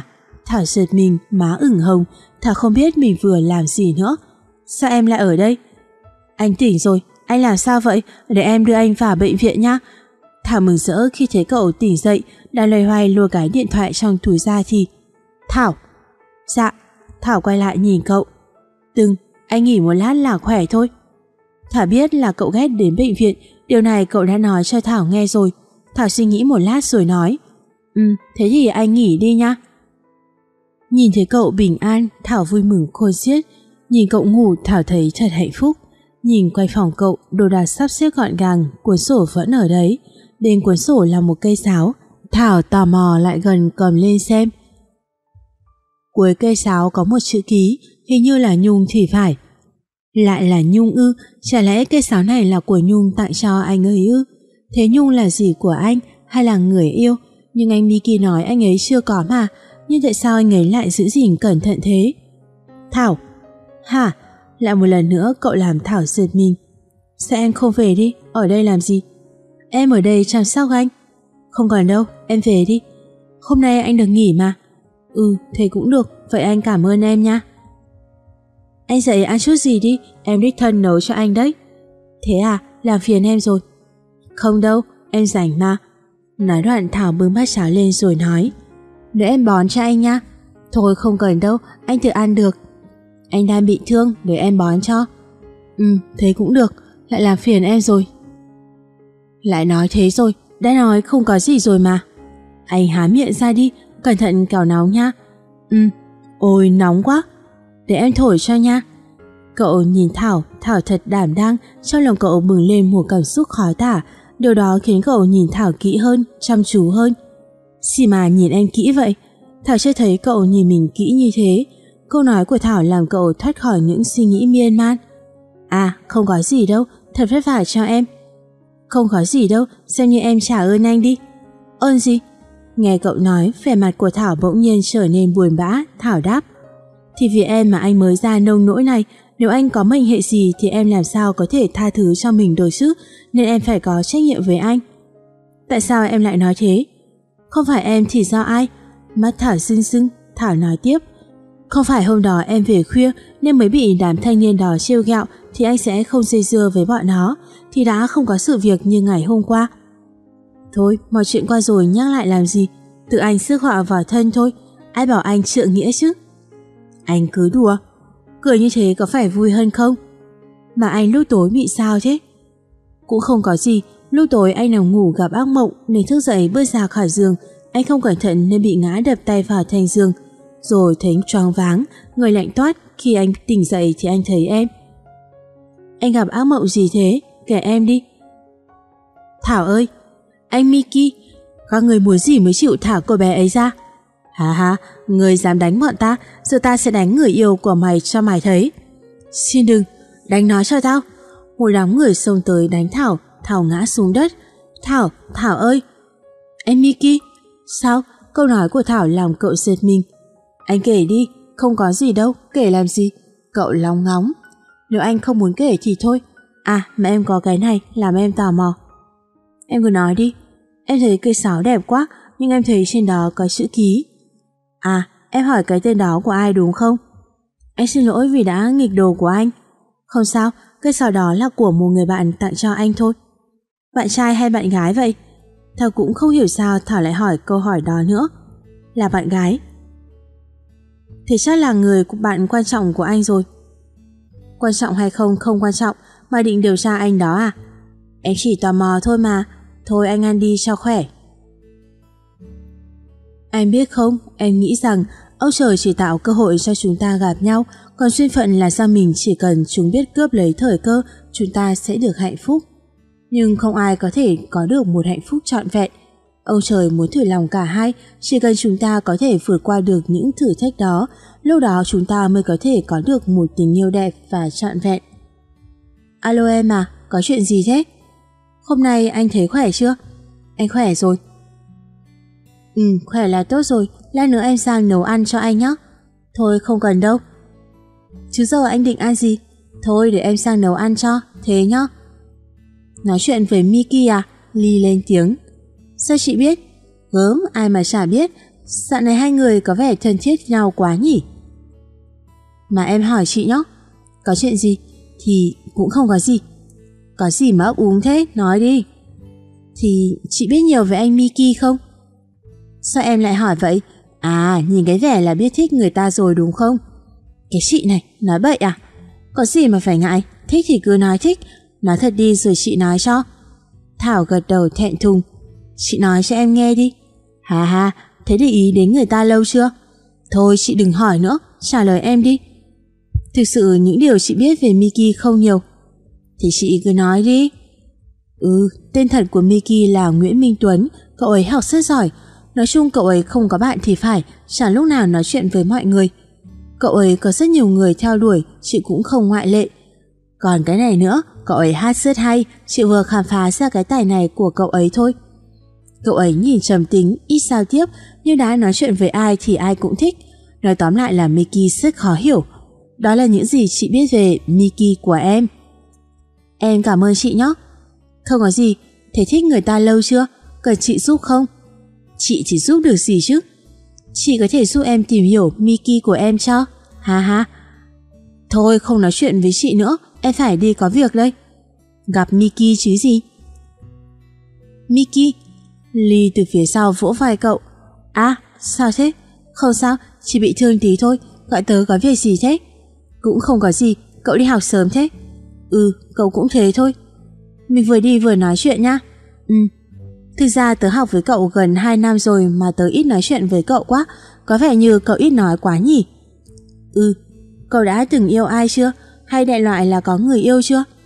Chưa, nhìn tôi thế này ai thèm yêu chứ? Bạn lại tự ti rồi, người như cậu thì ai mà không yêu chứ? Ai nào? Chẳng hạn như tớ, hi hi. Cậu, đùa đấy. Tưởng thật để tớ chuẩn bị tâm lý, ha ha. Gì mà phải chuẩn bị tâm lý? Thì chuẩn bị tâm lý để yêu, ha ha. Eo ơi xem cậu nói kìa, mà tớ nói thật này, cái Thảo yêu cậu đấy. Nghe Ly nói làm cậu giật mình. Cậu đứng lại làm Ly cũng đứng lại theo, cậu quay mặt sang nhìn Ly. Thảo ư? Ừ, Thảo yêu cậu đấy. Sao cậu biết? Thì Thảo nói với tớ mà. Thảo nói với cậu, cậu nhắc lại như thể không tin được những lời đó. Ừ, sao tớ không biết? Cậu mà biết mới là lạ đấy. Sao lại lạ? Cậu có bao giờ để ý đến suy nghĩ của người ta đâu? Cậu gật đầu mấy cái rồi hỏi. Thế Thảo nói gì với cậu? Có nói gì đâu, chẳng qua Thảo hỏi mình có biết gì về cậu không? Ừ, thế à, đến lớp rồi. Ừ, nhanh nhỉ. Cậu vào lớp vẫn là chỗ quen thuộc dễ bàn cuối cùng bên cửa sổ. Cậu ngồi xuống và bắt đầu suy nghĩ. Thảo yêu mình ư, làm gì có chuyện đó, mà dù sao thì mình cũng không cho chuyện đó xảy ra. Nhưng phải làm sao đây, mình phải làm sao đây? Mọi người ơi, chỉ cho Tuấn của mọi người một cách với, hay là mình rời xa Thảo, rời xa Thảo một thời gian, rồi Thảo cũng quên mình thôi, chắc giờ cũng chỉ có cách đó. Nhưng làm thế nào mới rời Thảo được chứ? Cậu thở dài. Có chuyện gì mà thở dài thẫn thờ thế? Cậu giật mình, hóa ra là Ly. À không có gì, mà Thảo có ai yêu không? Cậu hỏi gì kỳ thế? Giật mình khi Linh nhận được một câu hỏi lúc bấy giờ được xem là ngu ngơ. Thì cứ trả lời tới đi, cậu ở bên nhà Thảo có thấy ai thường xuyên đến phòng Thảo chơi không? Hôm nay cậu lạ quá, tớ không biết. À, mà hình như Lâm lớp mình thích Thảo thì phải. Lâm à, cảm ơn cậu nha. Ừ, không có gì. Nói đoạn cậu bước nhanh ra khỏi bàn học đi thẳng về phía Lâm, làm Ly tò mò ngoái cổ nhìn theo. Lâm, cậu có rảnh không? Mình nói chuyện một lát nhé. Ừ, có chuyện gì vậy? Mình ra ghế đá nói chuyện nhá. Có chuyện gì mà có vẻ quan trọng thế? Cũng không có gì. Tớ muốn hỏi cậu một số việc riêng tư thôi. Ừ, có chuyện gì thế? Có phải cậu yêu Thảo không? Lâm ngạc nhiên quay sang nhìn cậu. Cậu nói tiếp. Không phải ngạc nhiên thế đâu. Cậu cũng yêu Thảo à? Không, mình chỉ quen Thảo thôi. Thế là cậu yêu Thảo thật à? Ừ, bọn mình quen nhau từ hồi cấp 3. Tớ yêu Thảo từ năm tớ học lớp 11. Thế Thảo có yêu cậu không? Lâm thở dài. Hình như là không. Ừ, cố lên, tương lai còn dài mà. Ừ, mà sao cậu lại hỏi thế? Không, không có gì đâu. Mình không nghĩ là cậu chỉ quen Thảo thôi mà lại hỏi như thế. Thế cậu nghĩ gì? Tớ nghĩ cậu yêu Thảo. Tớ... tớ định tìm hiểu Thảo, thế đã được chưa? Nhưng cậu yêu rồi thì thôi, tớ bỏ cuộc vậy. Thời đại cạnh tranh công bằng mà, nếu cậu có thể mang lại hạnh phúc cho Thảo thì tớ sẽ nhường Thảo cho cậu. Sao lại nhường, tớ chỉ hỏi vậy thôi mà. Mà cho dù có thế thật thì cũng chính cậu đã nói với tớ là thời đại cạnh tranh công bằng. Cậu quả là cao cả, Thảo phải chọn cậu mới đúng. Cậu nói gì vậy? À không có gì, mà cậu yêu Thảo nhiều không? Dĩ nhiên, nhưng có vẻ Thảo không yêu tớ, mà Thảo chỉ xem tớ như một người bạn, một người anh trai. Rồi thời gian Thảo sẽ hiểu tình cảm của cậu dành cho Thảo và Thảo sẽ chấp nhận cậu thôi. Mà sao Thảo không yêu cậu hay là những điều cậu làm cho Thảo chưa đủ? Tớ không biết. Cậu có hay đến nhà Thảo chơi không? Cũng thỉnh thoảng. Sao lại thỉnh thoảng, phải thường xuyên nên chứ? Ừ, để tớ thử. Đừng thử nữa, hãy làm thật đi. Hi, chúc cậu sẽ yêu được Thảo. Thảo có một người như cậu yêu thì thật là may mắn cho cô ấy. Bạn đề cao quá tớ rồi, tớ ngại lắm. Thôi, chúng ta vào lớp thôi. Vừa đi được vài bước thì bỗng có chuông điện thoại reo, là của Thảo, cậu quay sang nhìn Lâm. Xin lỗi, tôi có điện thoại, cậu vào lớp trước đi. Ừ, alo, anh à, anh khỏe chưa? Chờ em sang nấu cơm cho anh nha. Thôi không cần đâu. Thôi anh đang còn mệt để em nấu cho. Đã nói không rồi mà, em phiền phức thế. Sao anh lại nói em như thế? Em đâu có làm gì đâu. Nhưng người yêu anh yêu thấy thế sẽ không vui đâu. Người yêu? Thảo ngạc nhiên pha chút lo sợ và buồn rầu. Ừ, người yêu anh sẽ không vui đâu. Thế người yêu anh là ai? Là ai em hỏi làm gì? Là ai? Anh nói cho em biết đi, em xin anh đấy. Là Ly, thế đã được chưa? Thôi anh học đây. Tút tút. Thảo tròn váng ngồi bệt xuống giường, bất giác trong đầu óc xuất hiện hình ảnh của anh. Anh đang ngoái cổ mỉm cười với Thảo. Bước chợt bên cạnh anh là Ly, anh nắm tay của Ly rồi hai người bước tiếp trên con đường ấy, để lại cho Thảo một khoảng không trống rỗng. Bất giác những giọt nước mắt trào ra. Không, điều anh nói không phải là thật, anh chỉ đang đùa với mình thôi, nhất định là vậy. Thảo tử an ủi lòng mình, nhưng càng an ủi bao nhiêu thì nước mắt càng tuôn ra bấy nhiêu. Còn cậu sau khi gặp máy, cậu cũng hoang mang không biết mình vừa nói gì. Tan học. Ly, tớ có thể nói chuyện với cậu một tí được không? Có chuyện gì thế? Tớ... Cậu cứ nói đi, đừng ngại. Tớ cần cậu giả làm người yêu của tớ một thời gian. Người yêu cậu? Ly không thể không kinh hoàng. Tại sao? Tớ cần trốn tránh một người. Là ai? Thảo. Thảo. Ly lại thêm một lần nữa bất ngờ. Ừ, cậu biết Thảo là một người con gái tốt mà. Chính vì thế mà tớ cần trốn tránh cô ấy. Tớ vừa nói chuyện với Lâm, Lâm là một người tốt, Lâm rất yêu Thảo, cậu ấy rất cao cả. Nhưng cậu cũng biết là Thảo không yêu Lâm, người Thảo yêu là cậu. Tớ biết. Biết, sao cậu còn làm thế? Xin lỗi tớ không thể giúp cậu được. Tớ xin cậu đấy. Không, tớ không giúp, cậu tìm người khác đi. Xem như tớ cầu xin cậu. Cậu đột ngột quỳ xuống. Cậu đứng dậy đi, người ta nhìn thấy sẽ nghĩ sao? Tớ xin cậu đấy. Thôi được rồi, cậu cần gì phải làm thế chứ? Ly miễn cưỡng chấp nhận. Cảm ơn cậu. Nhưng tớ phải làm gì? Cậu cứ làm theo những gì tớ nói là được, cứ xem như ta yêu nhau đi. Ừ, nhưng cậu phải nói cho tớ biết là tại sao cậu lại làm như vậy. Mọi chuyện dài lắm, đến hôm nào thích hợp tớ sẽ kể cho cậu nghe. Cậu và Ly đi trên đường về nhà, có ghé vào rẽ trọ Thảo không phải gặp Thảo mà. Nghe giọng nói quen thuộc, Thảo bước ra ngoài thì thấy cậu tay trong tay với Ly. Anh về đây. Ừ, em về cẩn thận. Chẳng lẽ những lời anh nói là thật, chẳng lẽ anh Miki không yêu mình, nhưng sao lại là chị Ly chứ? Tại sao? Chẳng lẽ mình đáng ghét đến thế sao? Thảo tự nghĩ Thảo khóc, nhưng cố gắng cắn chặt môi để không phát ra tiếng. Ở bên phòng Thảo, Ly lúc này cũng đang bối rối, rất nhiều câu hỏi được đặt ra. Không gian thật yên tĩnh, rồi Ly nghe có tiếng khóc nhỏ. Thảo à, chị xin lỗi nha, em là người tốt mà chị lại làm như vậy. Hy vọng khi biết chuyện em đừng giận chị. Ly nghĩ thầm rồi thở dài. Suốt mấy đêm liền có lẽ đêm nào Thảo cũng khóc và đương nhiên Ly là người biết rõ nhất. Thảo khóc khi nghĩ lại khoảng thời gian hạnh phúc bên cậu, Thảo trân trọng những khoảng thời gian đó. Thảo ơi, là tiếng của Lâm. Thảo lao khô nước mắt, xem như không có chuyện gì xảy ra. Anh Lâm, có chuyện gì không? Anh muốn sang em chơi thôi. Ừ, anh vào đi. Nhìn Thảo hôm nay có điều hơi khác, không nhí nhảnh như mọi hôm, mắt sưng lên, Lâm hỏi. Thảo, có chuyện gì vậy? Sao anh hỏi vậy, em vẫn vậy mà. Nhìn em không giống như mọi hôm, có chuyện gì vậy nói anh nghe đi. Đã nói là không có gì rồi mà.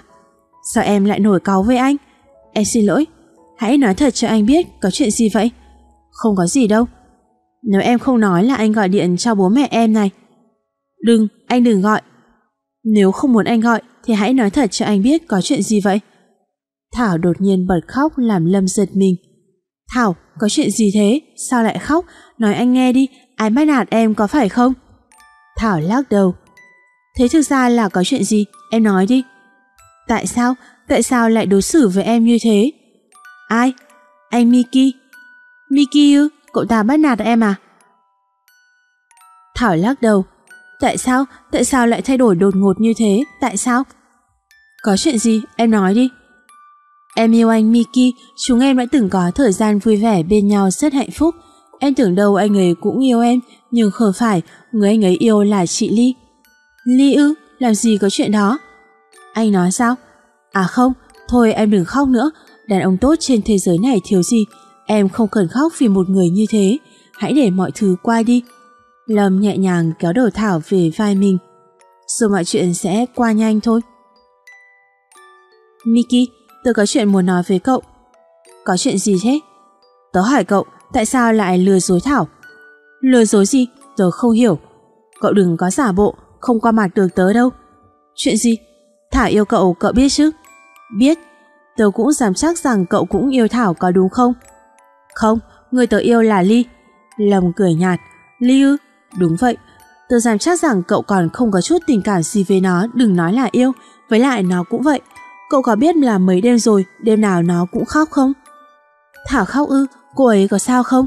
Cậu vẫn đang còn biết lo cho Thảo ư? Tớ khuyên cậu hãy trở về bên Thảo đi. Tớ không thể. Tại sao? Đừng bảo với tớ là vì Ly nha. lòng cười khinh bỉ. Cậu cũng yêu Thảo còn gì, sao không nhân cơ hội này yêu Thảo đi? Câu nói của cậu làm Lâm sững người. Tớ, tớ không phải là người như thế, với lại cậu cũng biết là Thảo không yêu tớ, người Thảo yêu là cậu, cậu biết chứ? Như thế thì đã sao? Cậu ngu ngơ đáp khiến Lâm bực tức. Cậu... Nói đoạn Lâm đưa tay đẩy mạnh vào vai phải của cậu khiến cậu lùi mấy bước ngồi ngay xuống ghế đá. Tôi thất vọng về cậu. Lâm nói tiếp rồi đi vào lớp để lại cậu với một khoảng không. Bàn tay phải của cậu ôm chặt lấy tay phải của cậu vết thương cũ chưa lành hẳn lại nứt ra khiến cậu đau đớn. Nhưng nỗi đau từ vết thương trên cánh tay cũng không đo bằng vết đau từ trong trái tim của cậu. Tài trường tại phòng trọ Thảo Từ ngày đó, Thảo luôn ra mình trong phòng, rất ít khi ra khỏi phòng. Còn Ly, Ly cảm thấy thật có lỗi với Thảo. Ly đi đi đi lại trước phòng Thảo mà không biết có nên gõ cửa không. Cốc cốc, ai thế? Là chị, chị Ly đây, chị có chuyện muốn nói với em. Ừ, chị vào đi. Thảo mở cửa với một nụ cười thật tươi. Em, em có buồn không? Có gì mà phải buồn chứ? Em vui, em vui vì anh Miki đã tìm được một người tốt như chị.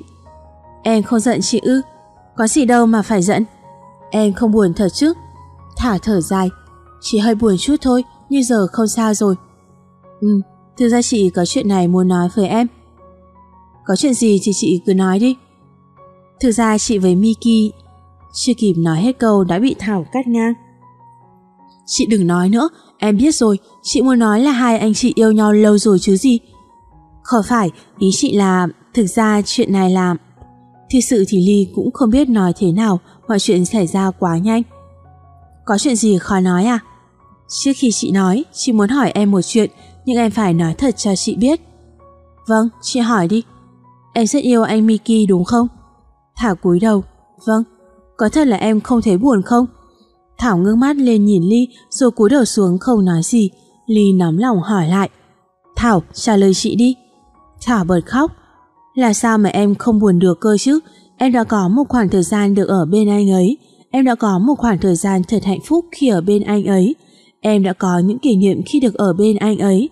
Anh ấy đã cho em một cảm giác an toàn, tin cậy khi ở bên anh ấy. Chị nói xem là sao, em có thể không buồn không?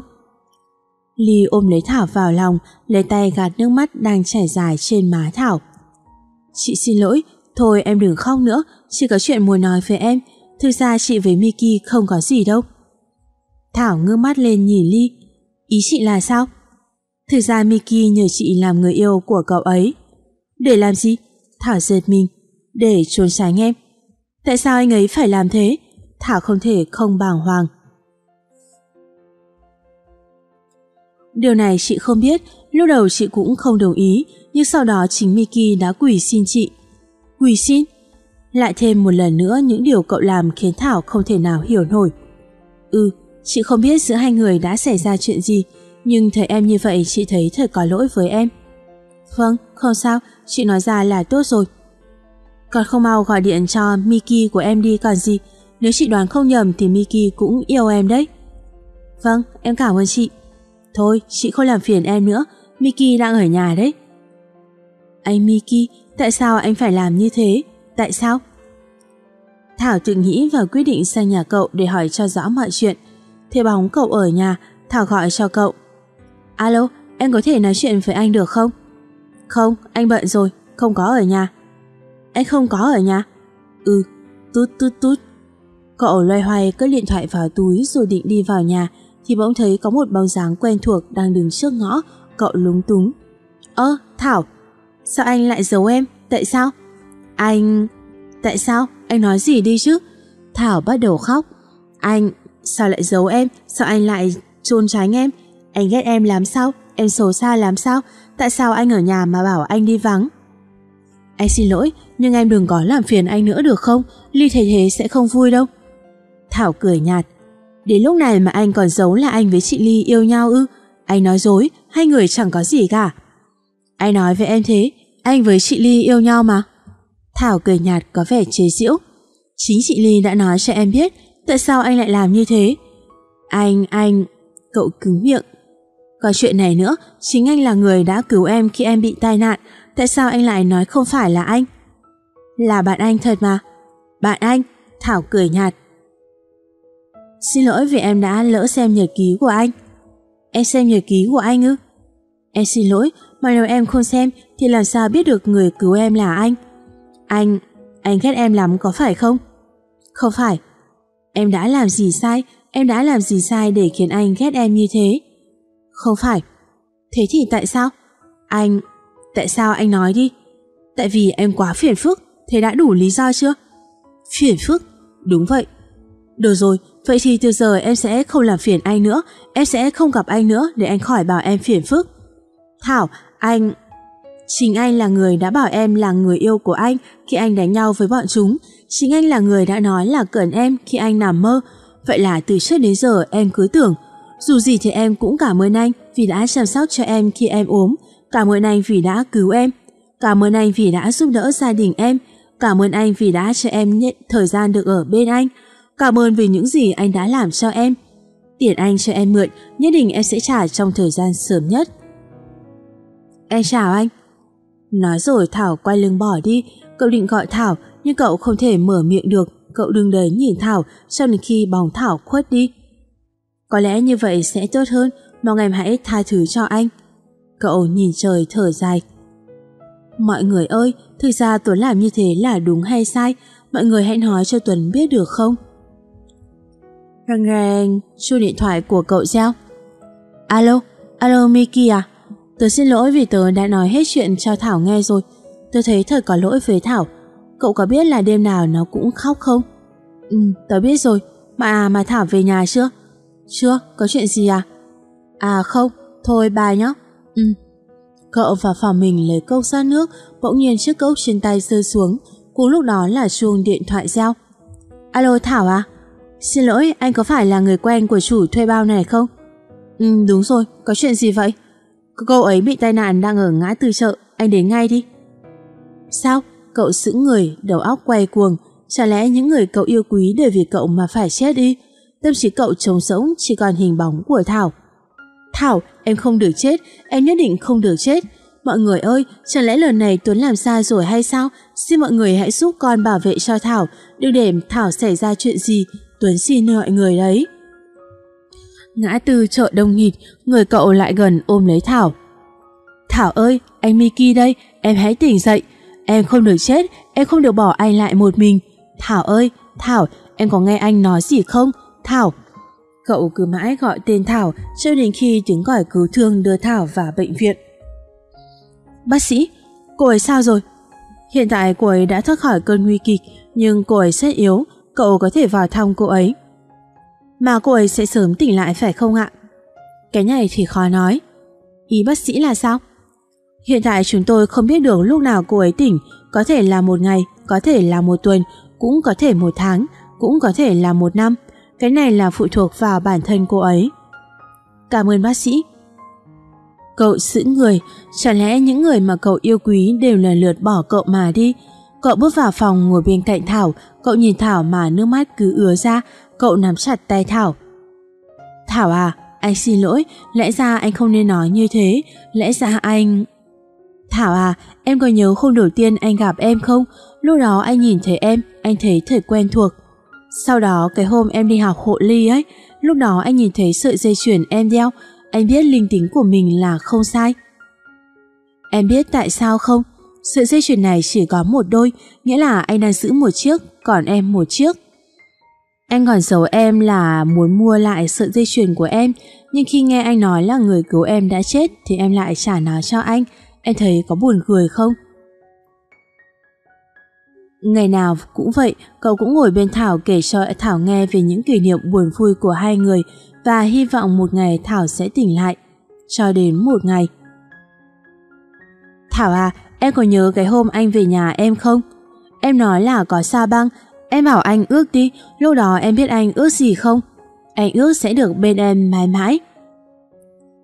Anh Miki, Thảo, em tỉnh rồi, em, em làm anh lo quá. Bác sĩ, bác sĩ, bệnh nhân phòng 240 tỉnh rồi. Anh Miki, những lời anh nói là thật chứ? Lời nào? Lời ước của anh. Là thật không một chút gian dối. Nước mắt của Thảo chảy ra không phải vì đau khổ mà vì hạnh phúc. Anh có biết hôm đó em ước gì không? Không phải em ước gia đình em không còn song gió sao? Thảo lắc đầu. Em ước sẽ được ở bên anh mãi mãi không bao giờ xa cách. Cậu nhìn Thảo rồi hôn lên bàn tay của Thảo. Anh xin lỗi vì đã làm như vậy. Anh, anh xin lỗi. Thôi đừng nói nữa. Đề nghị anh ra ngoài để chúng tôi làm việc. Bác sĩ lên tiếng. Thôi em nghỉ đi nhá Nhờ sự chăm sóc tận tình của cậu, sức khỏe của Thảo tốt lên trông thấy. Chẳng mấy chốc mà Thảo đã được ra viện. Chúc mừng em đã ra viện. Cô tặng cho Thảo một bó hoa thật đẹp. Em cảm ơn anh nha. Hôm nay anh phải tổ chức liên hoan một bữa ăn do chính tay anh nấu. Anh nấu ư? Có ăn được không vậy? Sao em thấy nghi ngờ quá đi? Không biết có ăn được không nữa, chắc là không chết đâu. Cái anh này thật đáng ghét. Thôi mà, cho anh xin lỗi Thảo dễ thương. Ghét anh quá mà, sao anh đuổi em dai vậy, không thèm nói chuyện với anh nữa.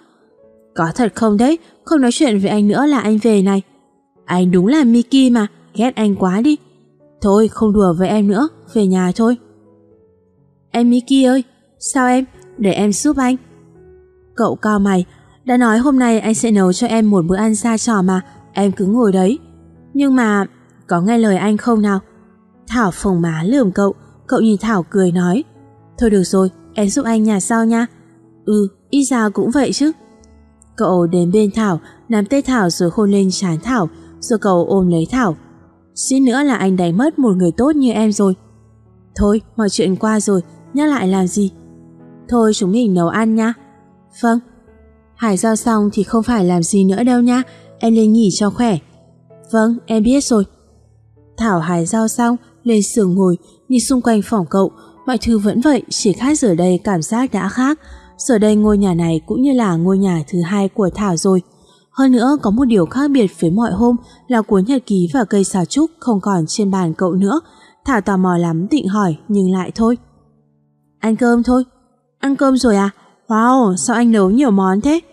Để bồi bổ cho em mà. Nhìn món nào cũng ngon nhưng không biết có ăn được không nữa. Cậu nhìn Thảo vẻ mặt buồn buồn nói. Sao lúc nào cũng làm như chồng tương lai em kém cỏi lắm ấy. Chồng tương lai, nghe ba chữ đó khiến cho lòng Thảo dạo rực. Thảo ngước mắt lên nhìn cậu. Con trai mà việc bếp núc phải khác chứ. Thôi không nói nữa, em ăn thử xem có ăn được không kia. Để em ăn thử. Thảo gắp một miếng rau lên thử rồi ngước mắt lên nhìn cậu. Sao? Có ăn được không? Thảo không nói gì, Thảo thử món khác, từng món từng món một. Cậu nhẫn nại ngồi chờ, lại một lần nữa Thảo ngước mắt lên nhìn cậu. Sao? Anh nấu thế nào? Sao anh nấu được vậy? Anh nấu giỏi hơn em rồi. Thảo có vẻ thẹn thùng, cúi mặt đi, cậu bật cười nhìn Thảo. Thôi, nếu ngon thì em ăn nhiều vào nha. Nói xong cậu gắp cho Thảo thức ăn. Cảm ơn anh, anh cũng ăn nhiều vào nha, mấy ngày thật vất vả cho anh. Nói rồi Thảo cũng gắp cho cậu. Không, anh không mệt đâu. Ôi nào quá, cảm ơn anh vì bữa ăn hôm nay nha. Lại cảm ơn rồi, người một nhà mà. Người một nhà? Chả lẽ là người xa lạ? Thôi để em rửa bát cho. Em cứ ngồi đấy, anh rửa bát. Nhưng mà, lại nhưng mà rồi. Thảo lại lườm cậu. Cậu bật cười rồi rửa bát. Em Miki, gì vậy? Em có chuyện này muốn hỏi anh. Em hỏi đi. Thực ra có nhiều chuyện khiến em phải suy nghĩ mà vẫn chưa tìm ra lời đáp.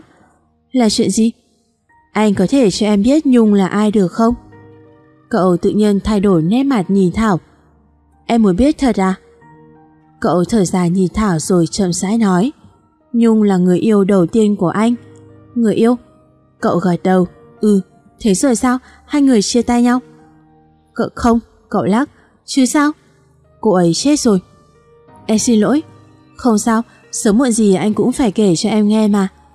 Mà anh kể cho em nghe về gia đình anh đi, chẳng hạn vì sao bố anh lại đánh anh, tại sao anh lại chán ghét gia đình, tại sao anh lại muốn rời xa cái gia đình, tại sao anh ghét vào bệnh viện, với lại còn rất nhiều chuyện mà em không biết về anh.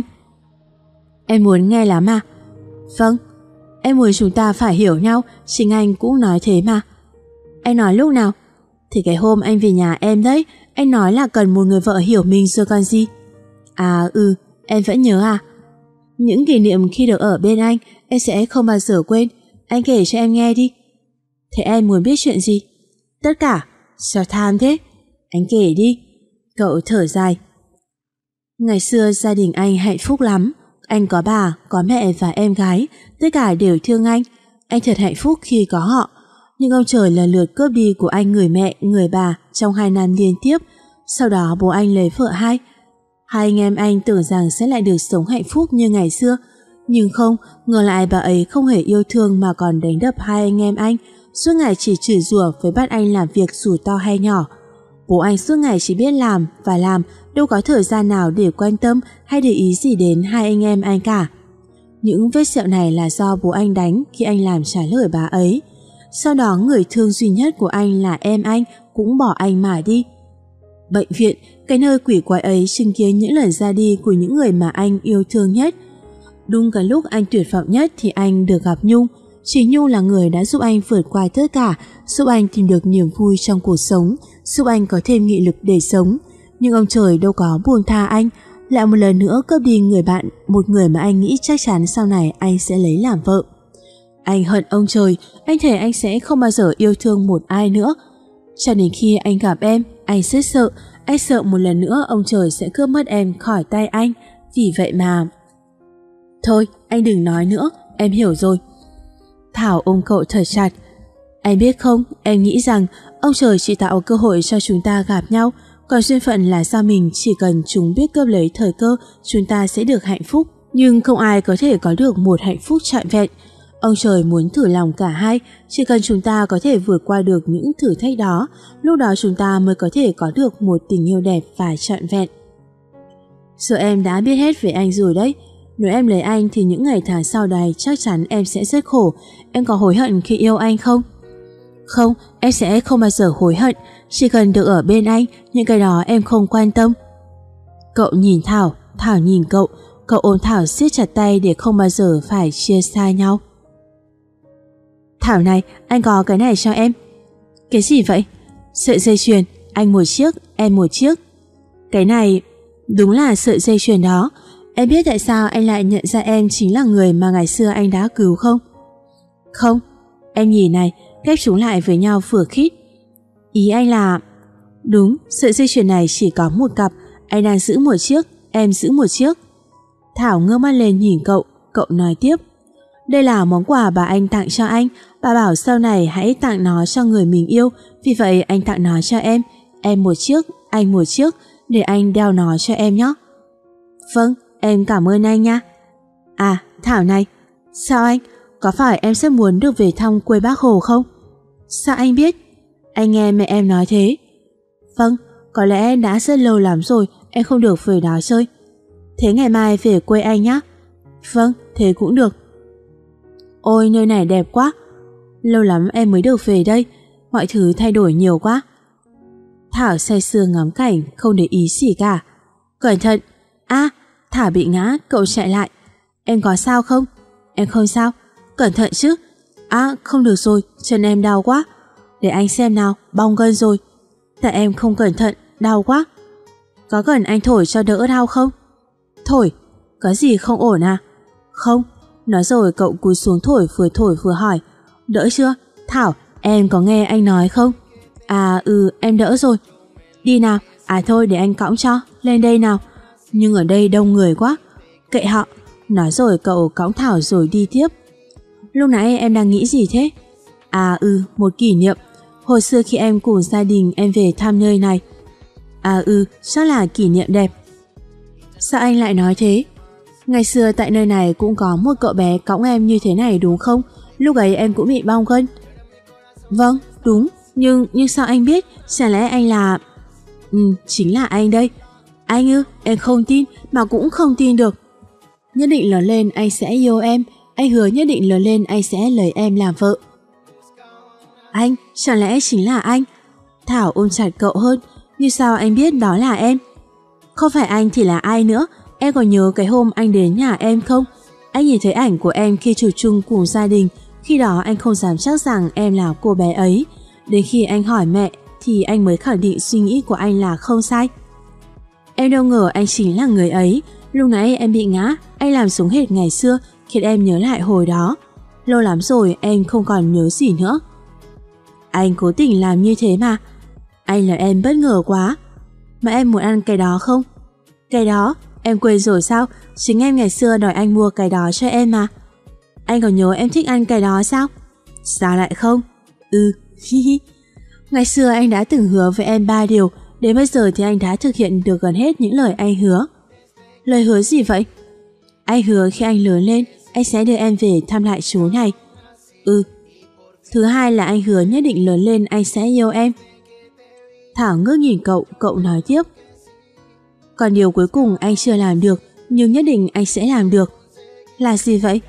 Nhất định lớn lên anh sẽ lấy em làm vợ. Nói rồi cậu quay sang Thảo, nhìn Thảo rồi nắm lấy bàn tay của Thảo. Anh hứa và nhất định anh sẽ làm được. Thảo ngã đầu vào vai cậu, sau lòng cảm thấy thật hạnh phúc khi thấy Miki nói với mình như vậy. Anh nói xem, sau này anh muốn có bao nhiêu đứa con? Hai thôi anh nha. Ừ, anh muốn có một trai một gái. Thế anh muốn chúng nó giống ai? Đương nhiên là giống em rồi, dễ thương mà, ha ha. Cái anh này lại trêu em rồi, ghét anh quá đi. Em muốn là con trai thì sẽ giống anh, tài ba đẹp trai, còn con gái thì giống em, đảm đang hiền hậu và đương nhiên là cũng dễ thương. Cái anh này, đứng lại xem, ghét anh quá đi, sao chọc em hoài thế, đứng lại đi, anh đứng lại xem. Hà hà, Thảo dễ thương, tha cho anh đi. Hai người ngồi ở gốc cây phía hoàng hôn, cùng anh kẹo bông cùng nhau vui đùa, cùng hướng về phía hoàng hôn, nơi mà tương lai đang đợi chờ họ, cùng mơ về một mái ấm gia đình hạnh phúc. Nơi đó chỉ có những trái tim chân thật, những trái tim luôn hướng về nhau, chỉ có những trái tim như thế mới cảm nhận được và hiểu được những ngôn ngữ của tình yêu. Bạn thân mến, câu chuyện đến đây là kết thúc. Cảm ơn các bạn đã quan tâm theo dõi. Chúc các bạn một ngày vui vẻ. Xin chào và hẹn gặp lại.